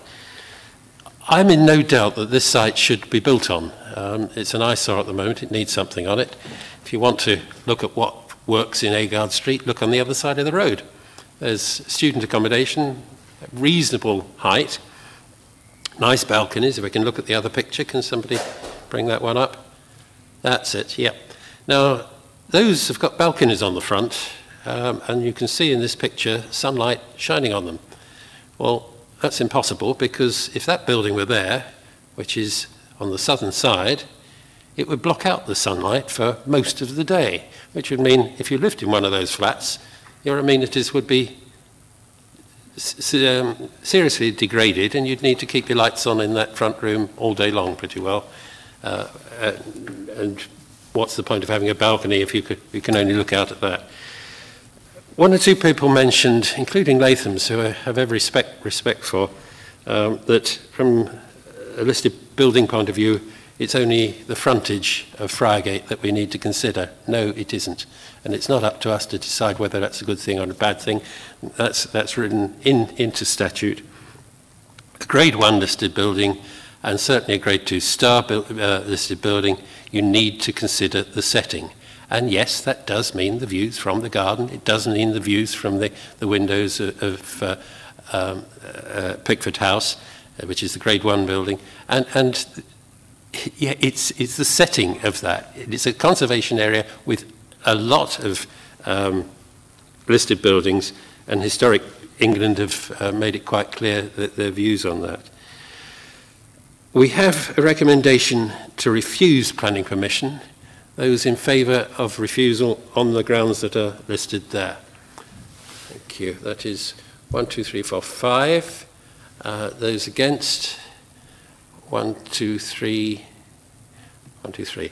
So permission for that is refused on the grounds listed in the report. Thank you. We move now to two fairly similar applications, but we must deal with them both on their own merits.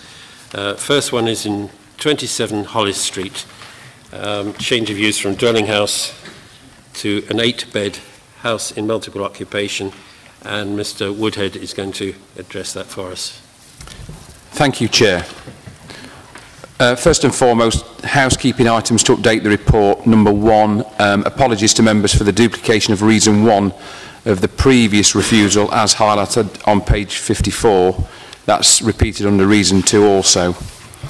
Reason two of that uh, refusal dealt with the unacceptable dormer extensions in the rear roof plane and in the rear roof plane of the outrigger under the previous application. So uh, apologies for that. Secondly, on page 55, members are advised about the additional notification period that's been carried out to publicise the amended plans which include the proposed dormer extension. Uh, the letter that we've sent specifically refers to that amendment and 19 households, including Councillor Graves and Bayliss, have also been notified. And finally, to accommodate that additional neighbour notification period that extends up to the 24th of July, the recommendation on page 59 needs to be amended to something like subject to the expiry of the additional publicity period on the 24th of July 2018 to grant planning permission with conditions in consultation with the Chair and Vice Chair subject to there being no substantive objections raised during the additional publicity period. I'm sure Mr Teasdale can pull me up if he thinks he needs to be any rewording of that, but that's just to accommodate the additional notification period that we've done. Chair, this application follows the previous refusal of planning permission for the creation of a house in multiple occupation with a dormer extension in the rear roof plane to accommodate additional bedroom space. As your report states, the application seeks to address the previous reasons for refusal, and this includes the following. Firstly, the removal of the proposed ground floor rear extension that was deemed unacceptable in its scale and form, and which was addressed under reason one of the previous refusal. Secondly, reductions in scale of the proposed rear dormer extension and removal of the dormer that was proposed on the rear outrigger of the property so that that part of the dormer extended back at 90 degrees uh, from, the, from the main house. So it was a, an L-shaped dormer. So we've now just got a dormer in the back roof plane of the main roof, sort of a conventional sort of dormer extension. And thirdly, the completion of a parking survey to provide more information about on-street parking conditions on Hollis Street to address the concerns addressed under reason three of the previous refusal. And Paul can talk about that if he, if he wants to later. Chair, the previous scheme included eight bedrooms across the three floors of the property and the current proposal includes six bedrooms, albeit with a stated intent of accommodating up to eight people. In this case, I am satisfied that the overall intensity of the proposal, in terms of the scale of the accommodation provided, is reasonable in this residential setting. I'm also satisfied that the omission of the single-storey rear extension and reduction in scale of the proposed dormer extension are welcome reductions in the built form that was previously proposed. We have to be mindful, of course, that a large family household could accommodate the same number of people in a dwelling house, and the dormer could be a permitted development extension if it was proposed on a residential dwelling. The concerns of colleagues in Highways Development Control have been satisfied in terms of the impact uh, of the proposal on on-street parking conditions and the site is sustainably located near to London Road and the Alvaston District Centre. Subject to various internal issues, the accommodation will be separately regulated under the Housing Act and there are no overriding objections to the application from colleagues in housing standards. Uh, see page 56 of your report for their commentary. Members will note, of course, that the proposal has generated strong objections from local residents, and these are echoed by the ward members who are here tonight to articulate those concerns. However, Chair, in this case I consider there are no reasonable planning policy grounds to resist this proposal and feel that the applicant has properly addressed the reasons for refusal of the previous application. Again, Chair, subject to the expiry of the publicity period and the amended recommendation, I promote the po positive recommendation and invite the ward members to address committee. Thank you. Um, have you decided which of you is going to go first? Toss a coin or something. I don't mind whichever it is. Perhaps you do it the other way around for the, the next one. Okay, thank you. Mr Chairman and members of the committee, I'm here to object to this application on behalf of all the residents of Hollis Street and many of the residents in surrounding streets. I spoke at full council some time ago about the difficulties of houses of multiple occupation and changes to family homes into flats in, is having on many areas of Derby, especially Alvaston Ward. The application may be sound in planning terms, however it is not sound for the permanent residents in Hollis Street. Hollis Street is a small cul-de-sac which is off the very busy London Road, an arterial road of Derby. Hollis Street has also been subjected to three other HMOs in recent times, changing three-bedroom family homes into eight-bedroomed houses of multiple occupation, none of which have increased their parking capabilities. I know of two families who have left their long-term homes and others that are thinking of it. As the local authority, we have a responsibility for ensuring that our actions keep the city the best we can. You, as planning members, have a huge part to play to ensure our family homes remain family homes. It is a fact that HMOs attract transient people. They are naturally transient because these dwellings are not family forever homes. Transient people are less likely to care about their surroundings and their new temporary districts. It's not a criticism, it's merely a fact. I despair at the number of HMOs in this area. When are we, when are you going to take responsibility for this type of development? Developers are not adding this for the sake of the community. In fact, I believe I am right in saying all developers of this nature do not live in Derby, never mind this vicinity. Planners seem to suggest that eight separate people will only create one or two cars. This is almost never the case and almost always creates one per person. I was quite pleased to hear Councillor Potter talking about parking issues in Allestree. With three HMOs already recently converted in this street, this has added nearly 20 extra cars with three parking spaces that do not get used because they park on the street itself. Across the London Road, we also have an outstanding application for nine more flats, currently refused because there was no parking, but will come back at some point in the near future. Hollis Street is also subjected to churchgoers to the church on the corner of the street and London Road because of the lack of adequate parking. The frustration is immense and, as I mentioned, merely forces people to leave their much-loved homes. Mr Chairman and members of the Planning Committee, we simply cannot keep allowing more and more of these to encroach on our community.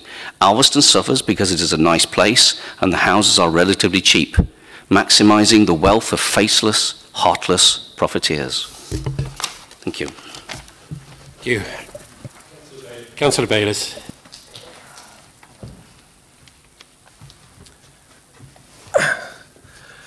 Thank you, Chair. Thank you, Committee. Um, I'm here to uh, ask the Committee to reject this proposal. Uh, having read the report, uh, I wrote every single person on that particular street and had a 10% response rate in terms of people objecting to this. Primarily, the reasons are first, the car parking. The survey itself that was undertaken was inadequate and a snapshot rather like the one undertaken the highway officer, it's flawed in that it does not take into account the use of the church for weddings, funerals, baptisms, and the Sunday services where vehicles are regularly parked on London Road on the pavement because of lack of space. Holly Street itself is narrow with no turning head and it can be difficult to park sometimes with vehicles parked opposite a space. In terms of planning issues, that is a material consideration. Turning to the other issues in terms of housing standards in respect of HMO, the layout of the house is poor and barely adequate, and we should be asking for good quality design, exceeding the minimum standards and aspiring for excellence in design, not allowing developers to scrape along the bottom of the requirement. This design, if allowed, would be another degentrification in respect of urban design. But as we all know, this sort of property will be maintained at the lowest standards possible to maximise the income of a landlord and become sadly an eyesore on the street. And one final comment, which has been picked up uh, on the previous applications, if Derby City or Derby Homes were developing this, it would have a sprinkler system, and this does not. Thank you.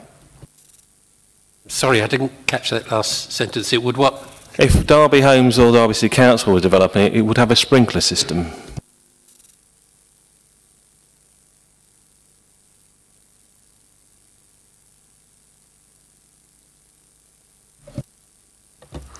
Thank you, Chair. This is a very difficult problem, isn't it? Um, these, you know, there, there are many, many streets like this in Derby, and I do understand people's frustration, uh, uh, particularly on a cul-de-sac like this. The simple fact is that no one has the right to park in the street. There are a set number of, of places. Uh, you know, they're all terracey type houses and you just simply wouldn't win at appeal. That you wouldn't. I don't know the grounds that you would win at appeal. I don't think it causes a road safety issue, and I think that any inspector, if you went to appeal, would say you, the highway authority, have powers under other acts to control parking. And it's frustrating, but there it is. There's no policy basis for it. My understanding is we are going to look at this in part two of the local plan. Um, but at the minute, there are no grounds that we could substantiate, Chair. Thank you. Members of the committee. Councillor Care. There was reference to um, the number of HMOs already in this area. Um, do we have any knowledge about the number in Hollis Street itself or in Hollis Street plus adjacent streets? And do we have any policy that relates to the numbers of HMOs in the same way as we do in terms of the number of fast food outlets, for example, that we could we could draw on? Or is that something that we should be referring to officers to look at in terms of part two, which won't affect this application, but could mean that further in the future applications we have more policy that we can consider? Yes, there's no, there's no policy currently, and um, we don't have records of the number of HMOs um, in the street, but it's, it's a bit of a funny situation with, with HMOs because you have a residential dwelling where you could have a single family household with any number of people in there living as a, a single family household. Now, that, that, could, that could accommodate a far, far greater number of people. We have no control over that. With housing multiple occupation, you're really looking at impact and, and what, what impact does that have? How does it change the character? So you've got the issue of parking, of course, and Paul's indicated that to, to, to demonstrate harm with one HIMO within the context of that street and, you know, possibly the counter argument that people who live in HIMOs may be less likely to afford to run a car than people living in a family home where there may be two or three car owners. That's part of the argument. So it's, it's a very difficult area of, of, of, of trying to put together a policy in the part two to demonstrate that impact. Is it an impact on character? Are you, are you concerned about the transient nature of a population? Is it changing the character of Alvaston or that part of Alvaston? Certain uni big university cities like Oxford do have policies relating to HIMOs and their concentration thereof. But whether or not we've got that same level of impact, um, I wouldn't know. But if, if you felt that it's a policy area that needed looking at, then it would be moving forward in the part two, but then it would be an issue as to how do you actually look at that impact because in this case, the extensions to the property are commensurate with a, a residential dwelling, so it would look like a dwelling. It would have six bedrooms and possibly eight people, but then you could have that in a residential dwelling itself. So where do you, where do you show character impact in that context? So it's a very difficult area. Um, Paul's mentioned the, the parking situation, and I would concur. If you got to appeal, any inspector would say, well, you're in a sustainable location, you're close to a main road, you're close to a district centre, this affords people who may live in a high mo the opportunity to use that district centre. I think we would be struggling, to say the least, at appeal. But I can take your concerns forward and discuss it with our policy team as we move forward into the part two. Because there are areas in the city, you know, that, that do have high mo concentrations, particularly the University District, Kedleston Road, Uh, and then you get into the debate about student accommodation, bespoke student accommodation, taking away those HIMOs and putting them into bespoke student accommodation, thus releasing houses back into the open market. So it's a, it's a, it's a, it's a big area to look at. That answer your question, Councillor Care? It, it does, um, unfortunately. Uh, but I, I would welcome us um, putting a recommendation, Chair, may, to, to the um, planning officers who are looking at part two, for them to consider this as an aspect to look at. And for me, it is the social aspects that make a difference. And it's not just that you may have um, six people who are not related to each other But also it's the transient nature. It's the way that people may not have as much commitment to that area because they're aspiring to go somewhere else. They might be here for part of the week and living somewhere else for part, part of the week without a, a commitment to their locality. It may be the way in which the gardens are not maintained because nobody actually knows whether the landlord wants them to look after the garden or not. And anyway, they haven't got any garden tools and not going to buy them. So it's those sorts of issues as well that, that proper management of an HMO doesn't necessarily solve. I have sympathy, but we have to look purely from the planning application point Yeah, of Chair, view. we don't have any policy The- to do any of that now. The, the test I always say is, would I want this opposite my house? And the answer is no, and I would do everything I could to stop it. But I do know that you need um, proper reasons to do that, and that's understandable. Councillor Evans. Thank you, Chair. Uh, I'm in agreement with uh, Lucy and my fellow ward councillors. Uh, we, we need to take responsibility, really. If we're changing the the heart of what these properties were built for. We know we can't stand still in time, but generally these are family homes here. And if we have got an issue and we want to provide HMOs, then that should be considered and there should be separate buildings really that have been fully thought through. We shouldn't have this ad hoc where we just convert properties to HMOs. Uh, we're changing Derby too much. Uh, we're losing that sentiment and family value and uh, I'm certainly uh, going to be voting against it. Thank you. Any other speakers? Uh, Councillor Rawson. Yes, um, thank you. It, it's just really to sort of echo the, the unease that uh, other members of committee have, um, have, have stated. Um, when these streets were built originally, they weren't designed for uh, houses in multiple occupation. They weren't designed um, for the number of cars and vehicles um, that that generates. Um, where, where there's a family home, you might have one or two vehicles. If you've got a house in multiple op- occupation, you might have eight vehicles. Um, and if there are others in the same street, then the problem's multiplied um, many times over. Um, so it's uh, I, I would welcome as part of the part two um, some um, further work on this and um, uh, some uh, studies um, because if there are particular parts of Derby that are uh, that are affected then um, you know we do need to be um, uh, putting in some additional policy around that to enable committee to um, uh, to be able to be much more robust in um, in, in resisting some of these applications.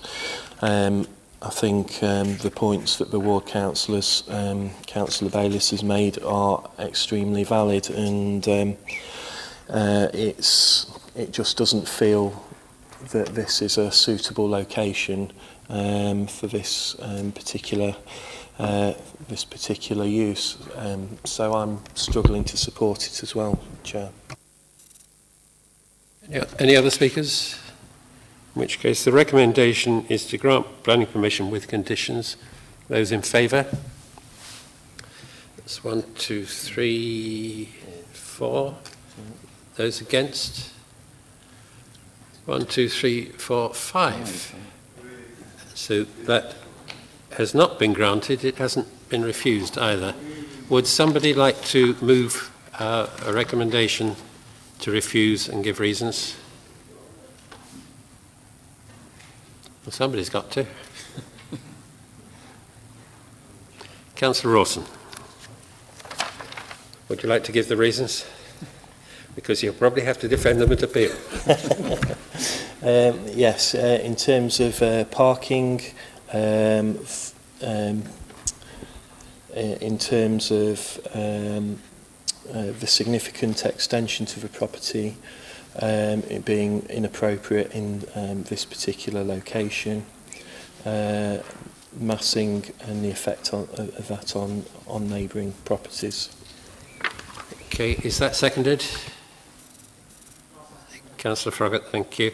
And um, subject to the officer's wording that into an appropriate uh, recommendation, um, can I have those in favour of refusal on those grounds? That is one, two, three, four, five. Uh, those against? One.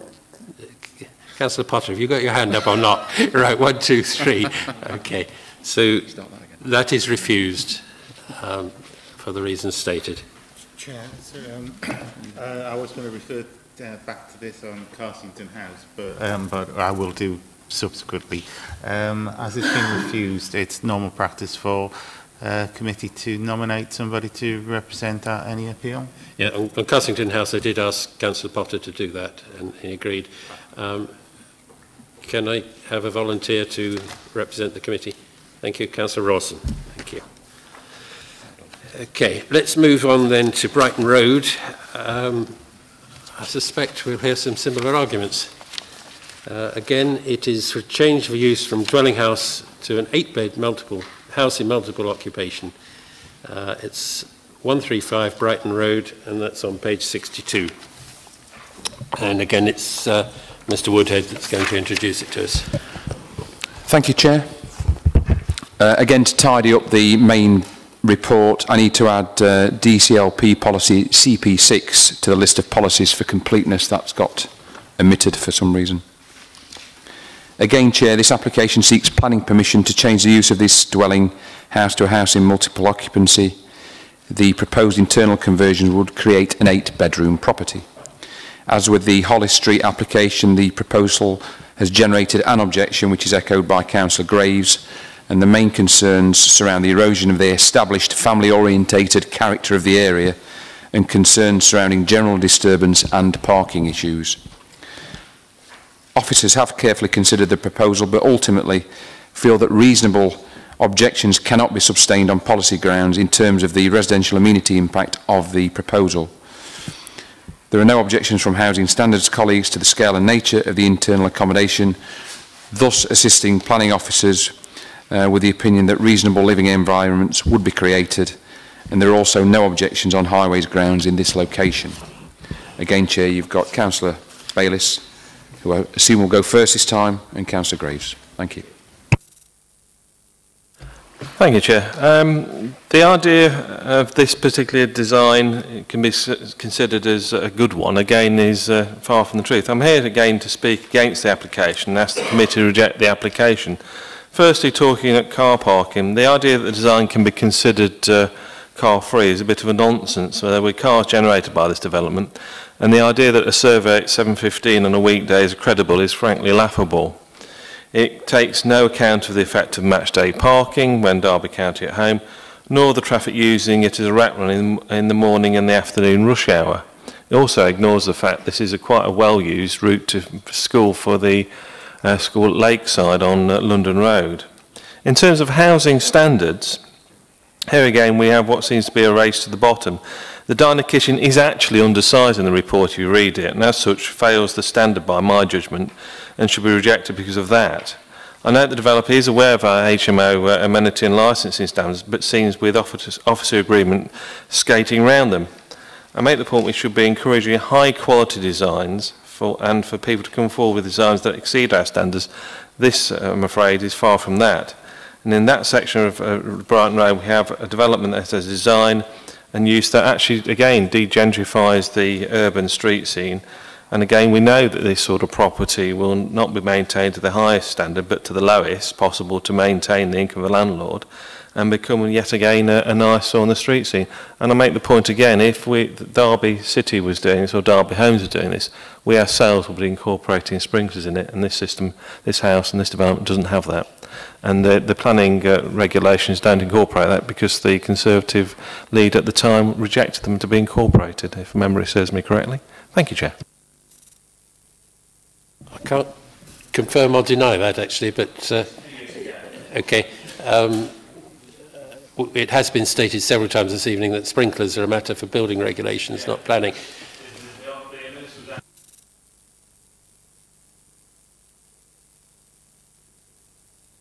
Councillor Graves. Thank you very much. Mr Chairman and members of the committee, this is the same issue as Hollis Street. Brighton Road is not a salubrious area, but is home to many families. It already has an apartment accommodation with adequate parking dotted along its route. The mix of homes are mainly terraced and road space is limited on a per capita basis. Brighton Road is being targeted by entrepreneurs trying to make a quick buck on the backs of the poorest in our community. In the last 12 months, I'm aware of three other HMOs, all next to each other on Brighton Road, a current application to convert the chip shop into six flats, similar applications in Chambers Street and other neighbouring streets. Parking uh, is a massive issue in this area, as is traffic. It is affected by the sheer number of existing vehicles. It is affected by football traffic, which the council has done very little about. And as the local neighbourhood board, we are even introducing a one-way system to try and alleviate some of those issues. This development will only make this situation worse. You have to ask yourself, why is this part of Alvaston under attack? The devastation to the community and the fabric of society. Because developers want to make lots of money, not because it's good for, for the long-term residents. Alvaston has taken its fair share of this type of development, and the people of Alvaston are looking for you to stop any further encroachments. Please help them by rejecting this application. I'd just like to make one point about what Mr Woodhead talked about um, in terms of um, uh, the fact that you can have many uh, members of a family living in one house and that doesn't affect the development. I agree with him. However, they are long-term residents. HMOs create transient residents. That means they're not so bothered about the areas they live in. There's a massive difference. Thank you. Um, there were some parking issues there. Anything to add to what you said earlier? Chair, perhaps, uh, thank you, Chair. I'll perhaps just point out what I, I think are some little, a few differences here. This is, I think the difference here is this is not a cul-de-sac, so you've got a little bit more spread. But uh, again, uh, look, what we would have to do, what anybody has to do when we get to appeal, uh, um, is you've got to show that the difference between this being a dwelling house and this being a HMO, that difference, that difference by degree prov provides a, a severe impact on the highway. And it's just impossible to do, I'm afraid. I think you could even argue that this creates an additional parking space, the way it's laid out. Um, I think the parking space on the front is we've we've said is is not workable. It's it's it's they've shown us car there that you couldn't get in. Unless it moves sideways. Yeah, yeah. okay. Right, thank you. Uh, Councillor Care. We're in the same situation here as we were last, were last time without any proper policy on HMOs. And the need for that policy is, is we're just seeing we need it. So um, reinforce the comment from last time that it needs to be considered as part of our part two.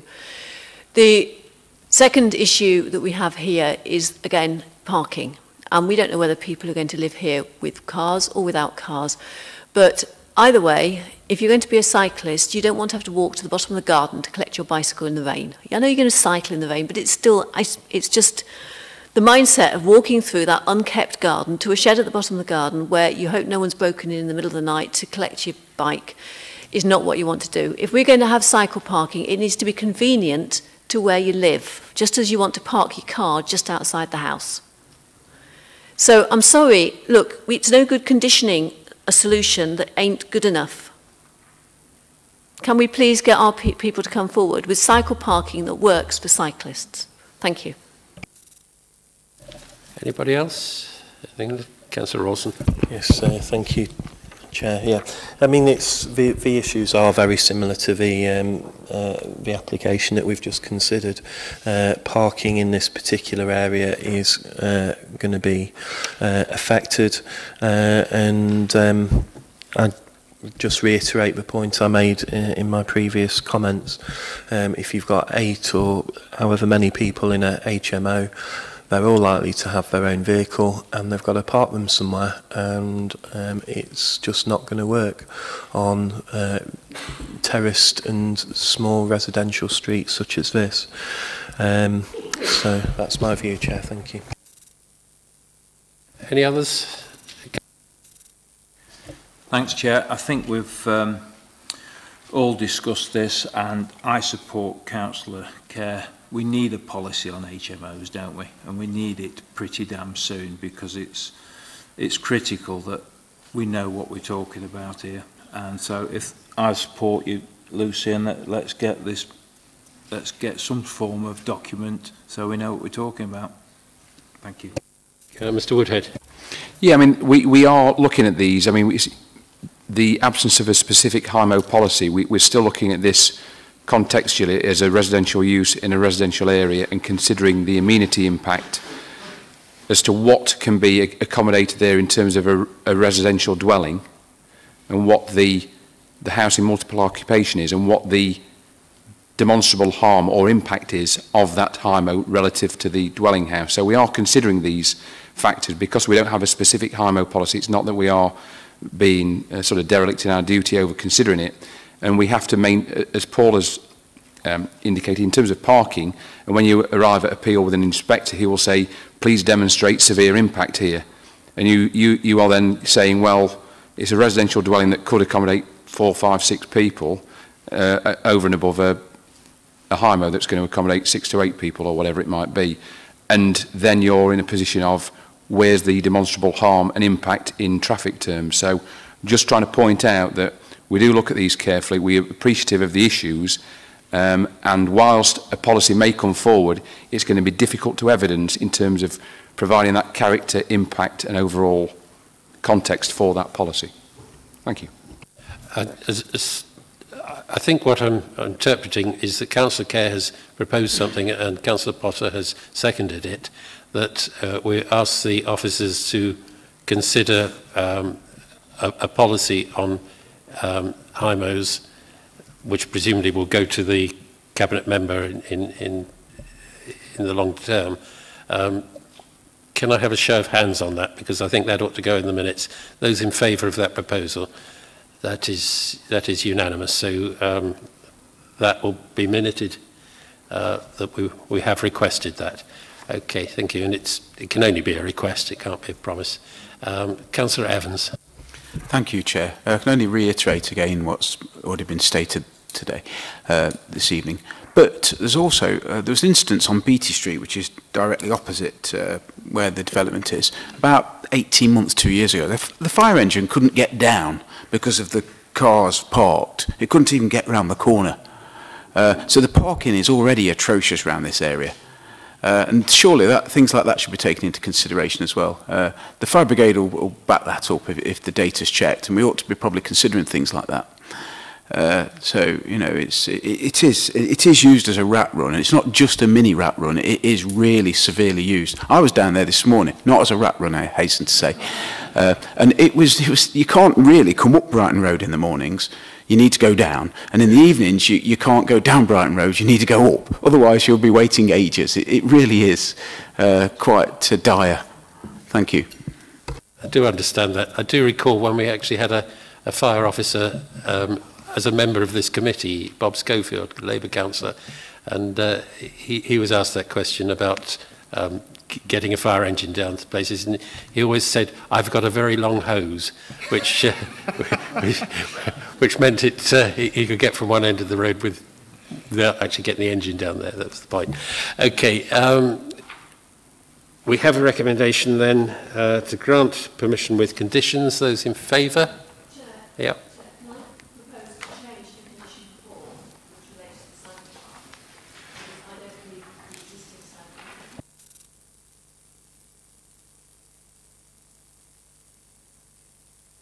Everybody happy with that um, additional condition on cycling? Yeah, yeah, that sounds reasonable. So then, those in favour of the recommendation as printed at the bottom of page 66, as amended by Councillor Care's. Those in favour? That is one, two, two. three, four. Four. Those against? One, two, three, four. I haven't voted yet. Um,